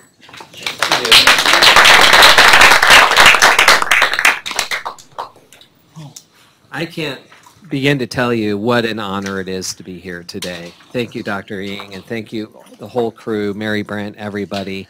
Um, I, it's been such a warm welcome here. Um, I have been absolutely uh, floored at the um, the warm welcome, the reception. Uh, it's just it's been wonderful. I I can't thank you guys enough. So thank you so much for this opportunity. Uh, do want to remind you we have some live polls going up uh, with some questions, and I'm going to check about midway through. Um, so definitely check it out, including one of my questions. It's the most important of the day of all the questions is what is the greatest animal? So, you know, you have a choice between owls, owls, owls, and other animals, right?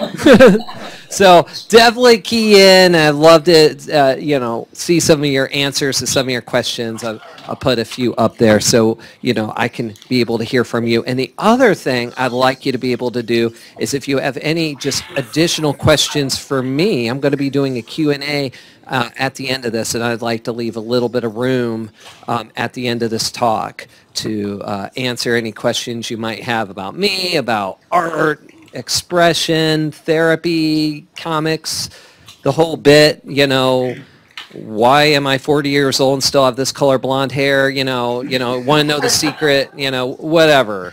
You know, just be sure to let me know. So, and I will try my very best to get around to some of those questions. So, without further ado, let's talk about how to make an award-winning cancer comic. So, let's start here. I'm Matt. I look like this. But I draw myself like this. After being diagnosed with this. What is this, a hairball? You know, some sort of dust bunny from hell? No! Cancer! And look, we know it's cancer because he's wearing a fedora, right? I mean, that's right. So, by the way, and heads up, and I've told some people yesterday this too. Might take a few pot shots at hipsters, but hey, people call me a hipster too, so you know, you know, it's all in good fun. So bear with me. So anyway, let's move on here. So, yep, this fella right here with his smug grin, cold black heart, and all right, all right, I get it. I get the point. Got to move on here. Getting off track. All right, all right, all right, all right, all right. We got to move on. So this is Cancer Owl. This is a comic that I created um, back in about 2015. It was actually created uh, while I was in the hospital. Um, I knew ahead of time that I wanted to create something from my experience, but it was really after my resection surgery that I decided, hey, I w- you know, this is it. This is what I want to do. This is how I want to express myself. But I don't want to get too far ahead here. I want to show you some things. The comic did really, really well. Better than I had anticipated. I really thought I was going to do a handful of these. In fact, I almost seemed to go out of my way to almost not make a big deal of the comic. And it took off. It went viral several, several times. It, um, you know, it's been the front page of Reddit, and it's been uh, several times. It's been, uh, you know, uh, HuffPost featured it. It's been featured on Bored Panda, and I've been in magazines, podcasts, and um, and it even won an award. That's the SCOPY Award. This is the greatest award ever. Forget the Oscars. Forget any of those things. If you get a SCOPY Award, then my God, you have met the pinnacle of achievement. I and I am not being sarcastic. I'm 100% serious about that. I am so happy with this award. I got to go down to Orlando and receive the award from the American College of Gastroenterology for impact with the comic. I'm like, you know, when I was a kid, I always wanted to be a cartoonist. I'm like, yes, not only have I become a cartoonist, but I won a freaking award. And it's so cool. I mean, you just can't make this stuff up. I mean, it's just, it's absolutely amazing. So we're going to, you know, we'll go ahead and get into my story a little bit. We're going to talk about how do you go from being you, a regular average Joe, to making an award-winning cancer comic. Well, let's start with step one. Get cancer. I, I guess that Easy. right, right. That's easy, right? I mean, enough said. Let's move on to step two. All right. So step two, we're going to move on now to the new normal. One of the things I say, I run a cancer group, uh, support group back where um, I work at uh, the practice I work at. And one of the things with uh, the new normal is that it, um, we, we, we talk about not, not only do you have a new normal, but I like to offer that you also have new opportunities. And I saw Cancer Owl in making this comic as really an opportunity. So that's some of the questions that we ask in our group is we say, okay, I have this new normal. It kind of sucks, but also have new opportunities. What are the opportunities? And that's and that is the other edge. And that's a question I like to pose to y'all. I'd like you to consider. What are the opportunities that I get, you know, from this new normal? And that's really only a question that each of us individually can answer. So let me tell you about my new normal, how I got here. So this is me, about six months before I was diagnosed, holding my cute little kiddo. Um, my wife, uh, I was, uh, I was just uh, running a uh, wedding. I mean, and when I say running a wedding, I mean doing everything. My in, my brother-in-law had nobody else doing anything. I literally was helping with DJing. I, I officiated the wedding, and I was just like fireball of energy, right? Like you wouldn't think, okay, six months from now, this guy is gonna, you know, he's gonna be hurled headlong into cancer treatments. And um, yeah, I mean, I literally was doing everything to the point where I'm like, oh my gosh. I was like, I even did the the food at the rehearsal dinner. I mean, I literally, I don't know, it was a one-man show. It's kind of crazy. Um, so on November 4th, 2014 is when they found a mass. And it even surprised the doctor are telling me, oh, you know, and you guys are probably very familiar with this. Oh, it's classic colitis or it's classic IBS, you know, and even the doctor is giving me all this material in order to prepare me for IBS. Nope, we found a mass. And the day after, I was like walking down the stairs. I was on the phone, just casually took a phone call. Oh, hi, this is Dr. So-and-so. Okay, okay. Sorry to tell you it's cancer. And I'm like on the stairwell and almost like collapsed, like fell down. And it would be two months before I found out what my staging was because at the time my insurance didn't want to cover even a CAT scan. So I had no idea. So talk about new normal. I'm like, this thing, is this thing going to kill me in a few months? Am I at like the end game? I mean, what is, what's going on? I had no idea what was going to happen. I'm like, is my daughter going to grow up and not even have a memory of me except for just seeing me in pictures? What, what is going to happen? So, oh, I don't want to get too far ahead of myself here. So, and then I had the very new normal of being able to share with people what it is like to tell, start to tell people you have cancer, whether it be your family, whether it tell people at work. So, hi there. Long time no see. How have you been these days? I've been good, kind of good. Well, I've been better. I was I was diagnosed with rectal cancer.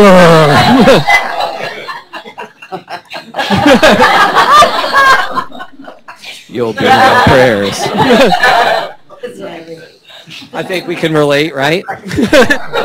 I swear I felt like I was melting the face off of every person I shared the news with. And like just the look on their face. And in fact, my cancer group, I say, how many times did you get the look today? They're like, oh gosh. like that look. And we were all able to do it too, though. when you tell people. yeah. Yeah. Yeah. You guys are able to do it. You know the look. Yeah.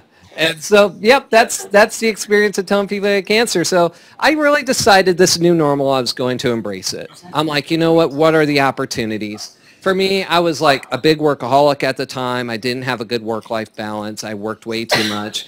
I was I was just I was didn't have good self-care routine. So all that changed. So for me, my new normal also was taking care of myself. And when I came to the hospital, I mean, I was a real for lack of a better way of putting him, I was a real wise ass. I mean, just as you can tell, as like the whole, uh, the way I wanted to be able to approach my experience. Um, I wanted to say, hey, this is my new normal. This is where I, you know, what are the opportunities here? So for me, it was an opportunity to start caring for myself because quite honestly, I wasn't that great at it, uh, like at all.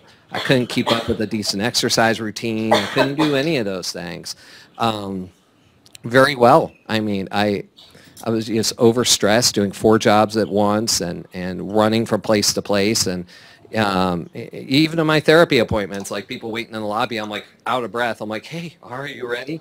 You know, and just uh, so when I was diagnosed, I was like, finally, maybe people will get off my back, and maybe I can finally start take care of myself. And so I even started getting therapy for myself. I started seeing as a therapist, I was seeing a therapist. One of the best decisions I ever made in my entire life. And he got me on a road to take caring for myself and learning how to use my voice and learning how to, you know, that my voice mattered and, and how do I, I get my voice out? How do I begin to express in healthy ways what I'm going through? So I got one of these suckers. How many? Some hand, show of hands. Some people rocking the bag. Nice. Awesome. All right. I no longer have a bag. It did get reversed. Um, but but yeah, uh, the photographer who took this, this is in downtown where I live, um, and he, he had this great, he had this uh, idea. He's like, dude, he's like, talk about hipster. He's like hipster supreme, like lion mane hair and everything. And he was like, dude, he's like, you should just go in the middle of the street and just lift your shirt up. I'm like, hell yeah. and then like, I live in small town Virginia, you know? And then like it's people are out out and about and I'm in the middle of the day just like lifting my shirt up. It was best, man. It was so good. So I wanted to speak a little bit about being a young adult with cancer, you know, and I, you know, for you, and I can't, I mean, I'm not an elderly folk, so I can't, I can't say this with certainty, but, you know, with, I, mostly the people that attend my cancer group are elderly, you know, and being able to hear from them. I see how our experience more as young adults is more unique in the sense of more, more of the elderly folk, you know, they're all, many of them are already retired and, and they're looking at things a little different. For us, and, you know, who are under 30, under 40, under 50, uh, many of us starting our careers. Uh, for me, I had a one-year-old daughter, and I was, I'm like, wow. I mean, everything was put on hold. Absolutely everything. It's very disruptive. So as as a, as a young adult, your cancer diagnosis is a startling, disorienting, life-altering experience. And I just think it's important to acknowledge that, and, and, and Dr. Ng, you know, handled that so well earlier, saying about the, the differences with, with your experience versus the experience of, yeah, again, maybe someone toward the end of their life um, that, that they get that. And uh, so, you know, also being able to find a sense of humor in all that was so critical. And I think for young adults especially, that's why many of us gravitate so easily toward, you know, uh, things that are humorous uh, about the experience. I will say though, my elderly folks that come to my cancer support group are hilarious. they make me look totally dull. They are, amazingly hilarious. Um, so here's here's one that I did about that. If you're under 50, I'd like you to try something. Get up early and spend your entire day in a nursing home. not to visit anyone, but to hang out like you live there. Yep, just hang out and do everything the locals do. Apparently pass gas while eating. um, you know, so chat with the residents or keep quiet, but stay close and let everyone just stare at you. Then get up the next day and do it again and again. And eventually you'll get an idea what it feels like to be a patient at a cancer center who is under the age of 50. Show of hands of some under 50 who can relate to this experience. Yeah. Yeah, being able to sit there and I'm like literally less than half the age of everyone in there. People being wheeled in and everything and, and staring at me like, what are you doing here? It is a wild wild uh, experience. So I want to break here for a moment and get to see some of the polls and like where we're at with some of these questions. So, all right, like I said, this is the most important question we will answer. You know what? Awesome. Wait, wait, wait. Now, wait. Hold on now. Come on. Uh-huh. Uh, uh, uh. All right. Well, seeing as though, like, I'm not I'm not great at math. Let's let's see. For you, we got 56 percent. Say wait wait whoa. Ah, see, I, I haven't been this held in suspense since uh, since watching the last uh, presidential race. Um, let's see here. All right, it's in. Owls absolutely rule. They are the world's greatest animal. I think we have decided this today. Not that I'm surprised people ask me, they're like, why you draw an owl, you know? And uh, yeah, I'll get into it just a little bit more, but I mean, they're just awesome. Like, I love owls. I've always loved owls. And they're just, they're awesome. So let's, let's take a look at some of the other questions. Have you read Cancer Owl before?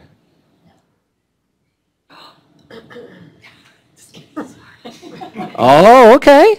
All right, good. Well, let's. Well, hopefully we could change that, right? And I will uh, hand you uh, when you guys uh, leave today. I mean, I have a bunch of free prints I want to give you. It has the website on it, and I will even do a little bird uh, portrait of you if I have time.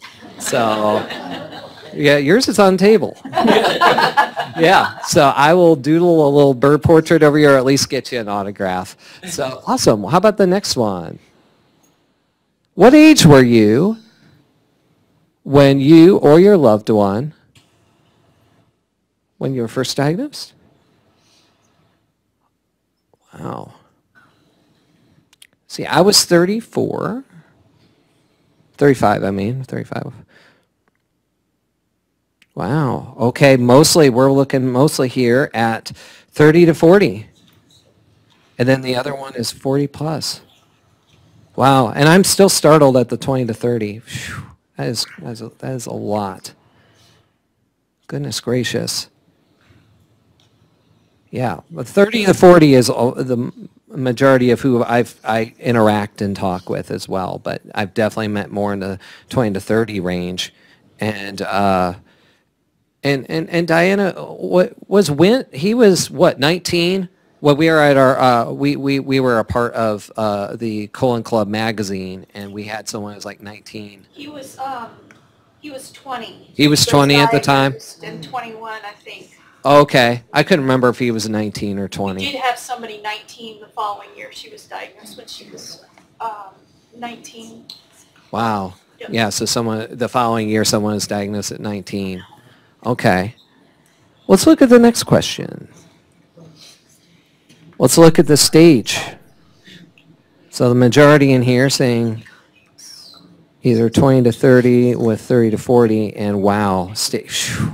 That's startling. Is so startling. I was a stage two, as, as Dr. Ng said, I, but I, um, wow, stage three and stage four by a mile. Goodness gracious. Let's take a look at the next slide. This is, this is one that was on my heart. I feel like I can talk to others about my cancer experience.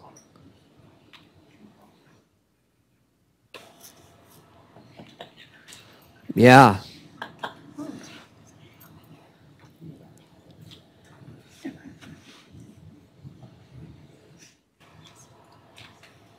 Yeah. Well, I'm I'm glad to hear that more, you know, that that more of you feel that you can. But I can't tell you how many write me. I get I've just gotten so many messages and emails over the years of people telling me they don't feel like they can talk about it to their families. They don't feel like they can share it. Something they feel like they got to keep like a literal secret. You know, except for maybe a, a tiny few that might have to take them to appointments. I've just been startled at the amount of people that do uh, you know not feel like they could talk about it. But I'm glad to see this room in here is really you know you're open. You feel like you can talk to them about it. I think we have one more.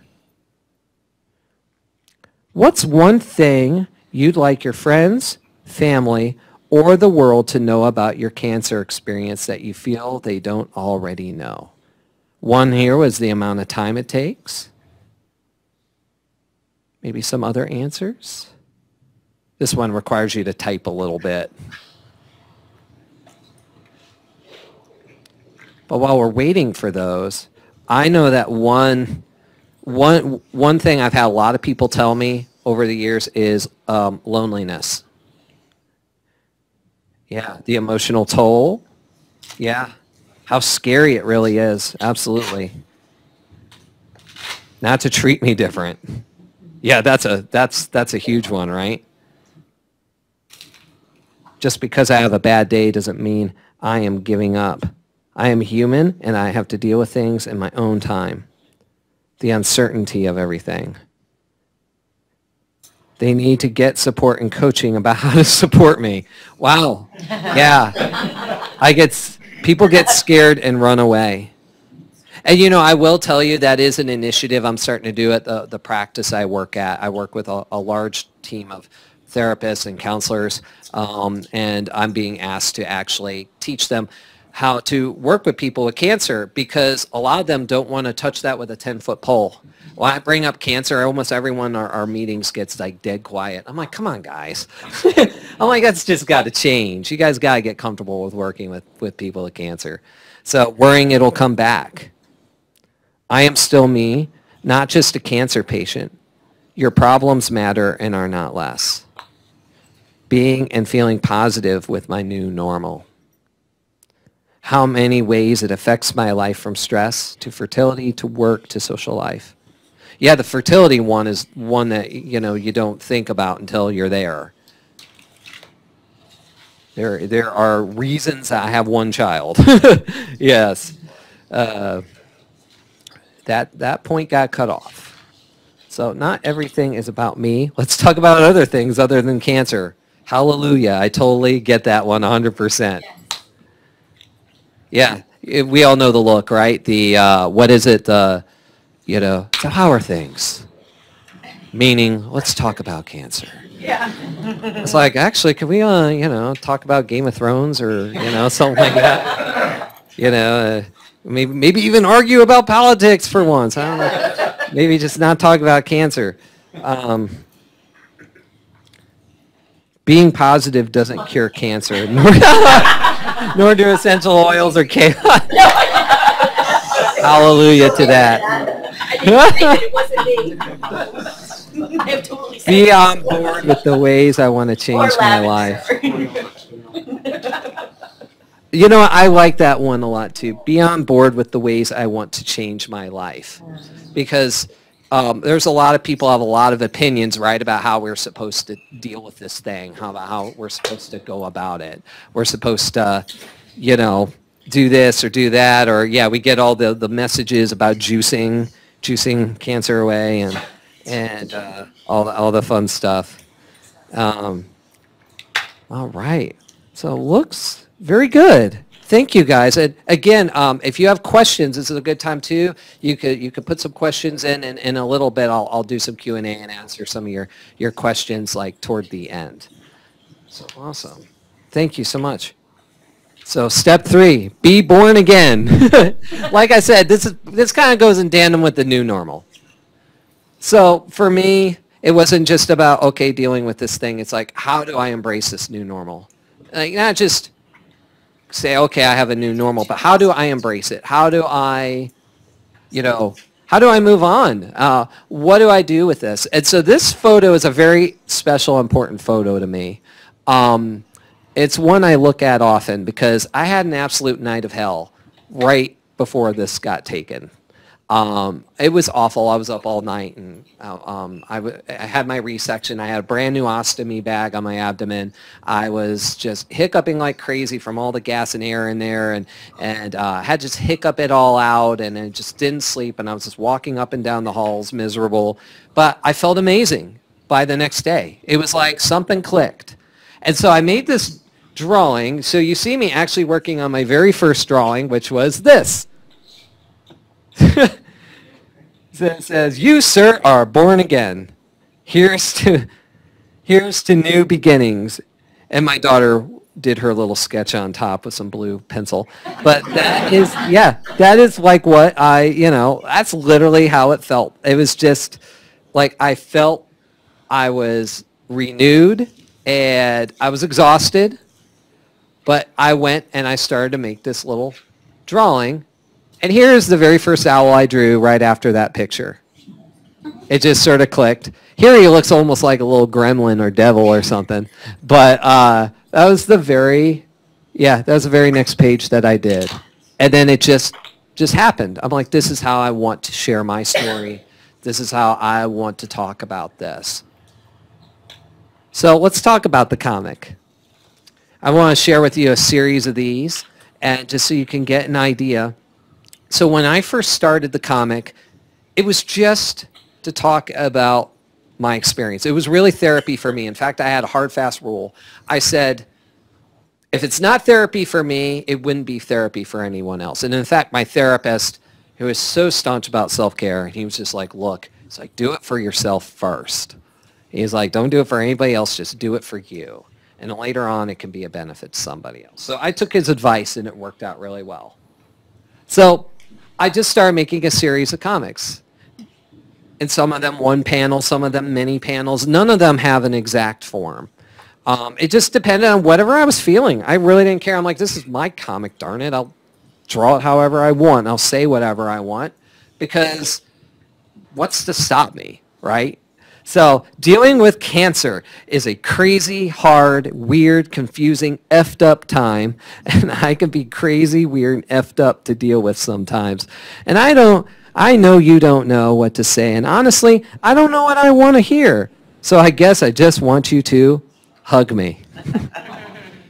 just kind of expressing some of that, those crazy emotions that we feel. Because we all say, well, man, people are saying this and then people are saying that. But if we slow down, we can be honest. We're like, yeah, you know, we're kind of contradicting ourselves over what we want because we don't know always know what we want or what we want to hear. And so, you know, you're already familiar with the owl, but then I started to draw this is cancer. So a lot of people want to express, and we're, this is going to be my workshop later about what's called externalization. Uh, you learn to externalize your experiences rather than own them. So you're not like, I'm cancer. You learn to say, I deal with cancer, or I have cancer. And, what, and there's a lot of therapeutic ways you can do that. Uh, one way to do it is literally drawing things like that. So I'm like, how do I want to draw cancer? Right? Cancer needs to be a character.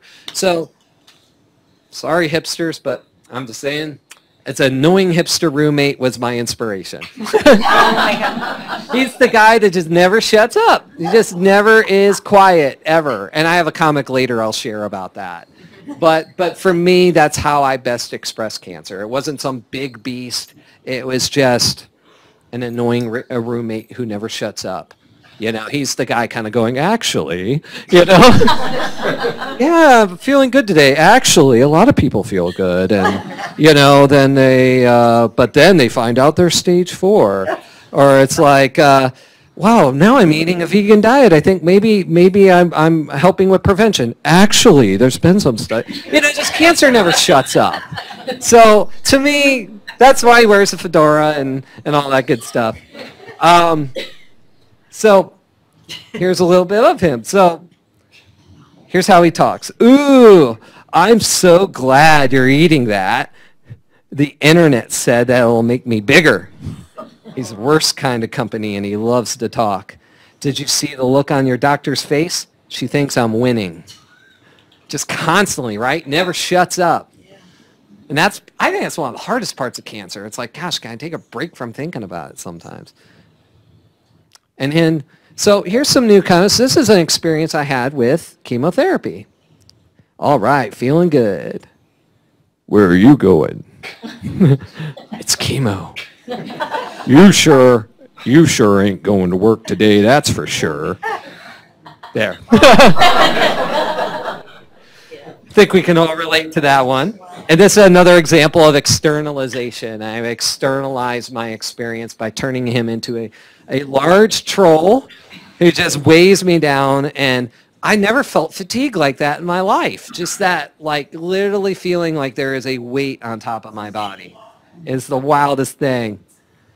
So here's, here's one of my very first ones I did. So, how do I put this?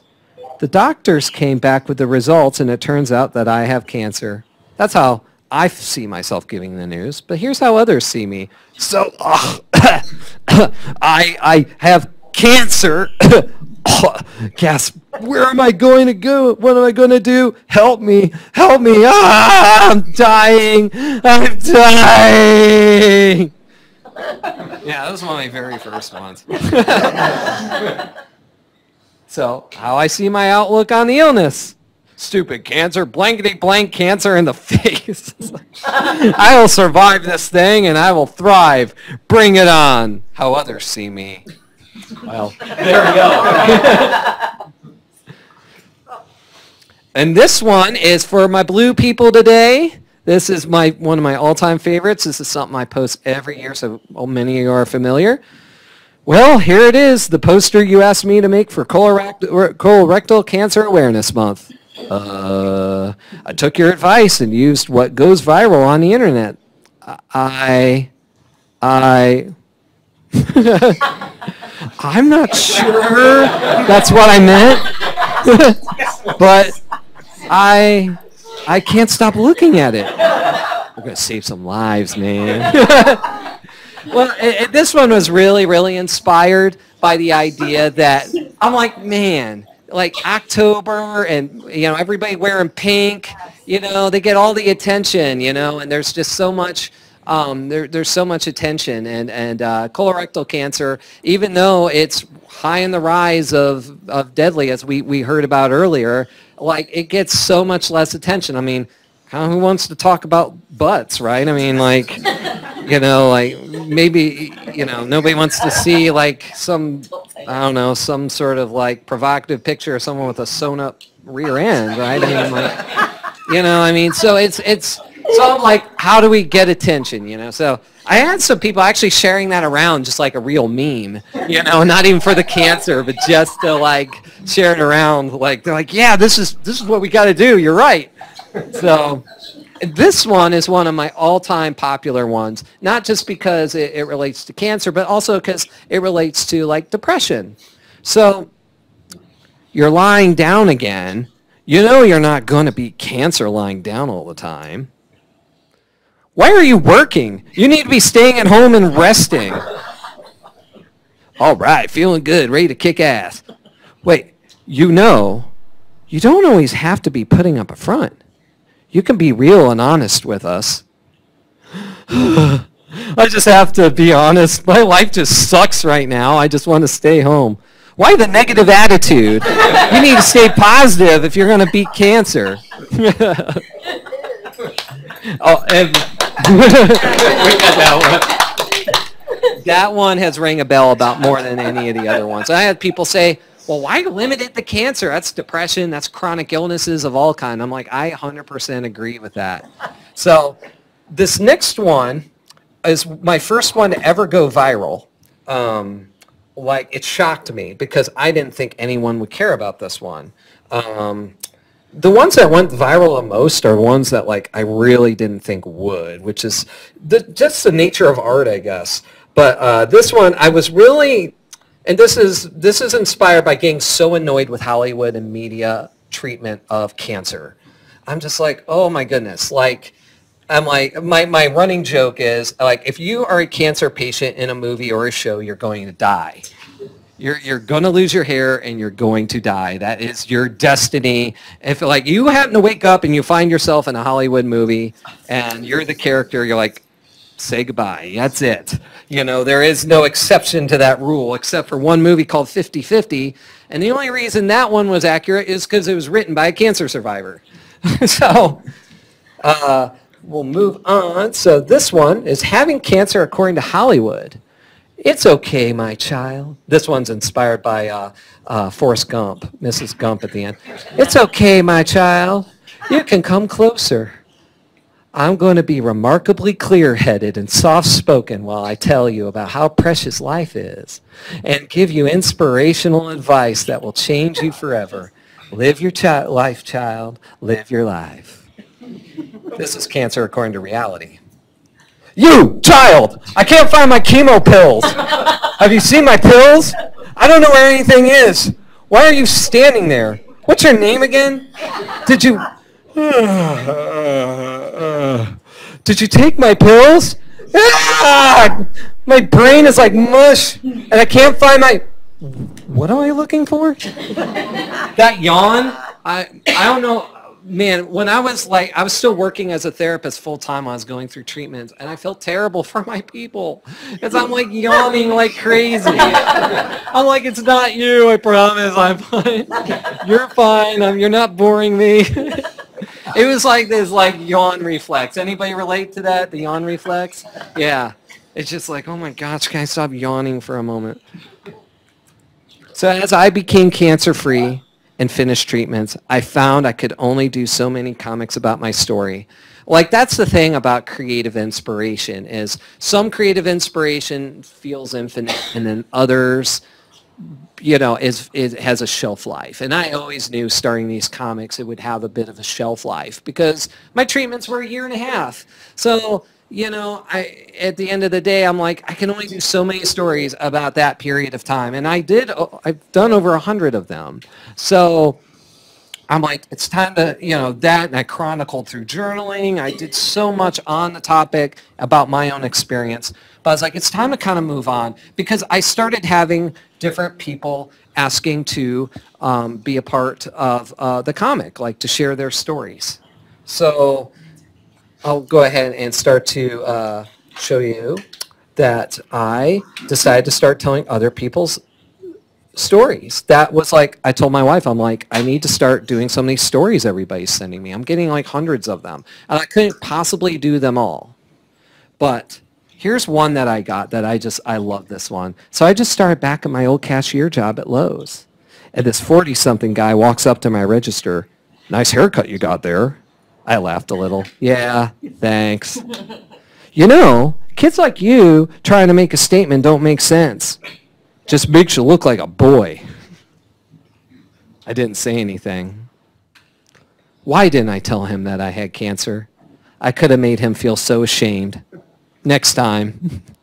And I heard though that this is just like working at Lowe's in general. That people at Lowe's are her- terrible. I don't know. I mean, not people working there, but people that go to Lowe's. You know, I, I have people that wrote me from Lowe's. Like, I work at Lowe's, and people are awful. Like the customers are terrible. I'm like, okay. I guess it's a Lowe's thing. No, I don't know. I so for this one, I'd like my friend Diana to come on up because this person you're seeing up here is actually she's here today.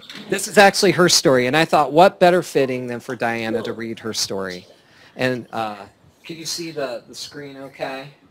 Yeah, brought my reading glasses. And, and you, you can look up there if you need to. Okay. Whatever works. Um, this is based on an experience. Uh, a lot of my friends, I post travel with with Fred. Fred is my colostomy uh, name, flatulent Fred to be exact. And uh, this occurred going through um, an airport. Actually, going to meet my friend Matt Yeah. at the Colon Club when Right. we became Colon Club brother and sister. That's right. I've had a colo- colostomy for two years, affectionately known as Fred. The biggest change since having an ostomy bag is the TSA Love Vest I experience now. It's a given that I'll be tested for explosives because of Fred. Every single flight. In addition to that, there's usually the dumping of my luggage. In yet another frisk, one TSA Oh, agent perfect. told me to hold on to my belt loops. She proceeded to shove her hands down my shorts all the way around my waist. I'm glad she told me to hold on to my belt loops because there might have been indecent exposure at the airport that day. Then on my way back, I had my normal frisk and swab, but my luggage was pulled. Again, they took every ostomy supply and dumped it out and swabbed it all. So if you see me hanging out with my pals at the TSA, I promise I'm not shady. Okay, hands in the air. Having Fred just makes me very popular.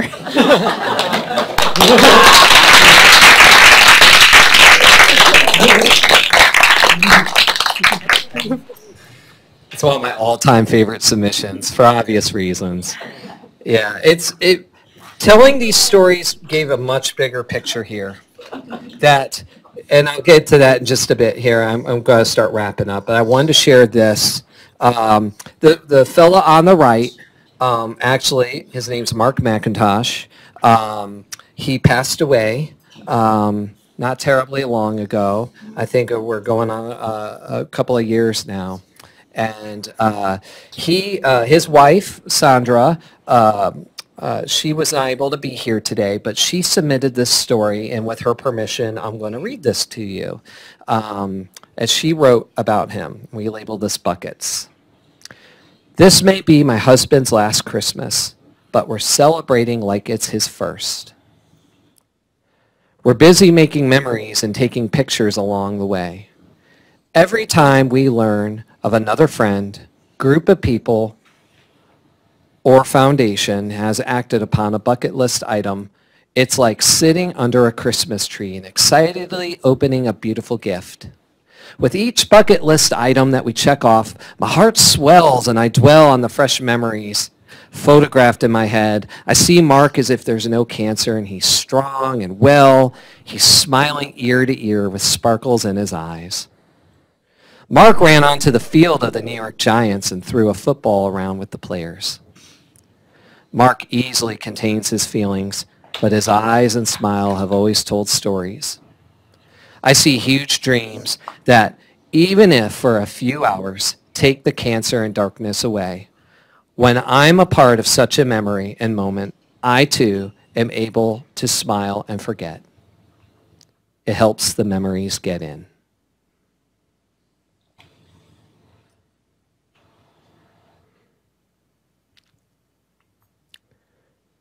So your story matters, is what I've, I've, I've come to learn is, it, yes, it started out with my story,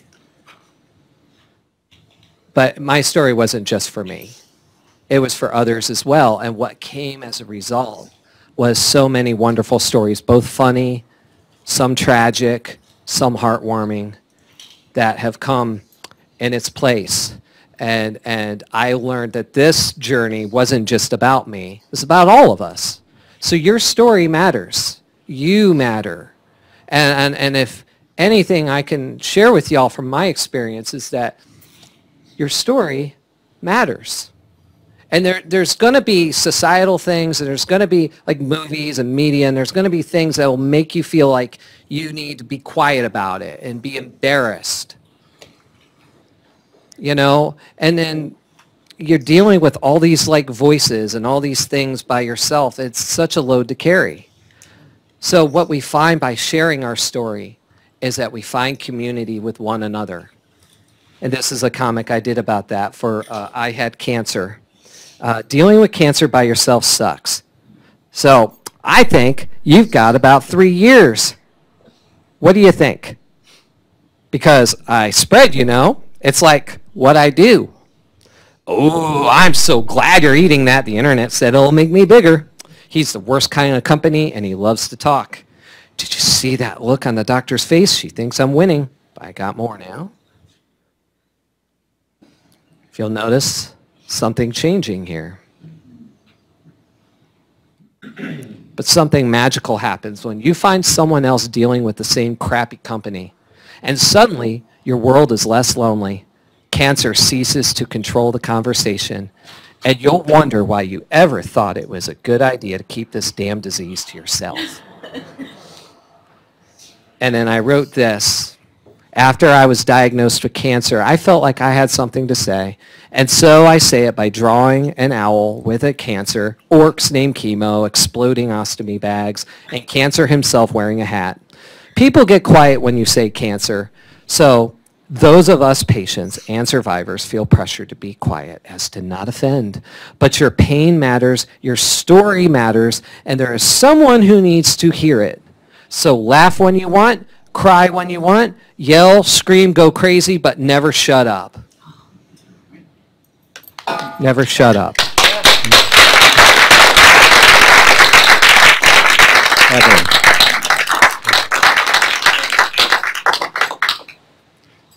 So I thank you guys so much for uh, the chance to speak to y'all today and share my story with you.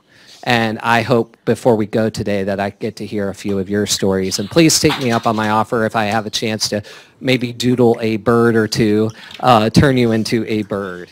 Um, I am going to be talking about how to externalize a little bit more and giving you guys the opportunity to do that too. So please join me in the breakaway session and come tune with me. Ed.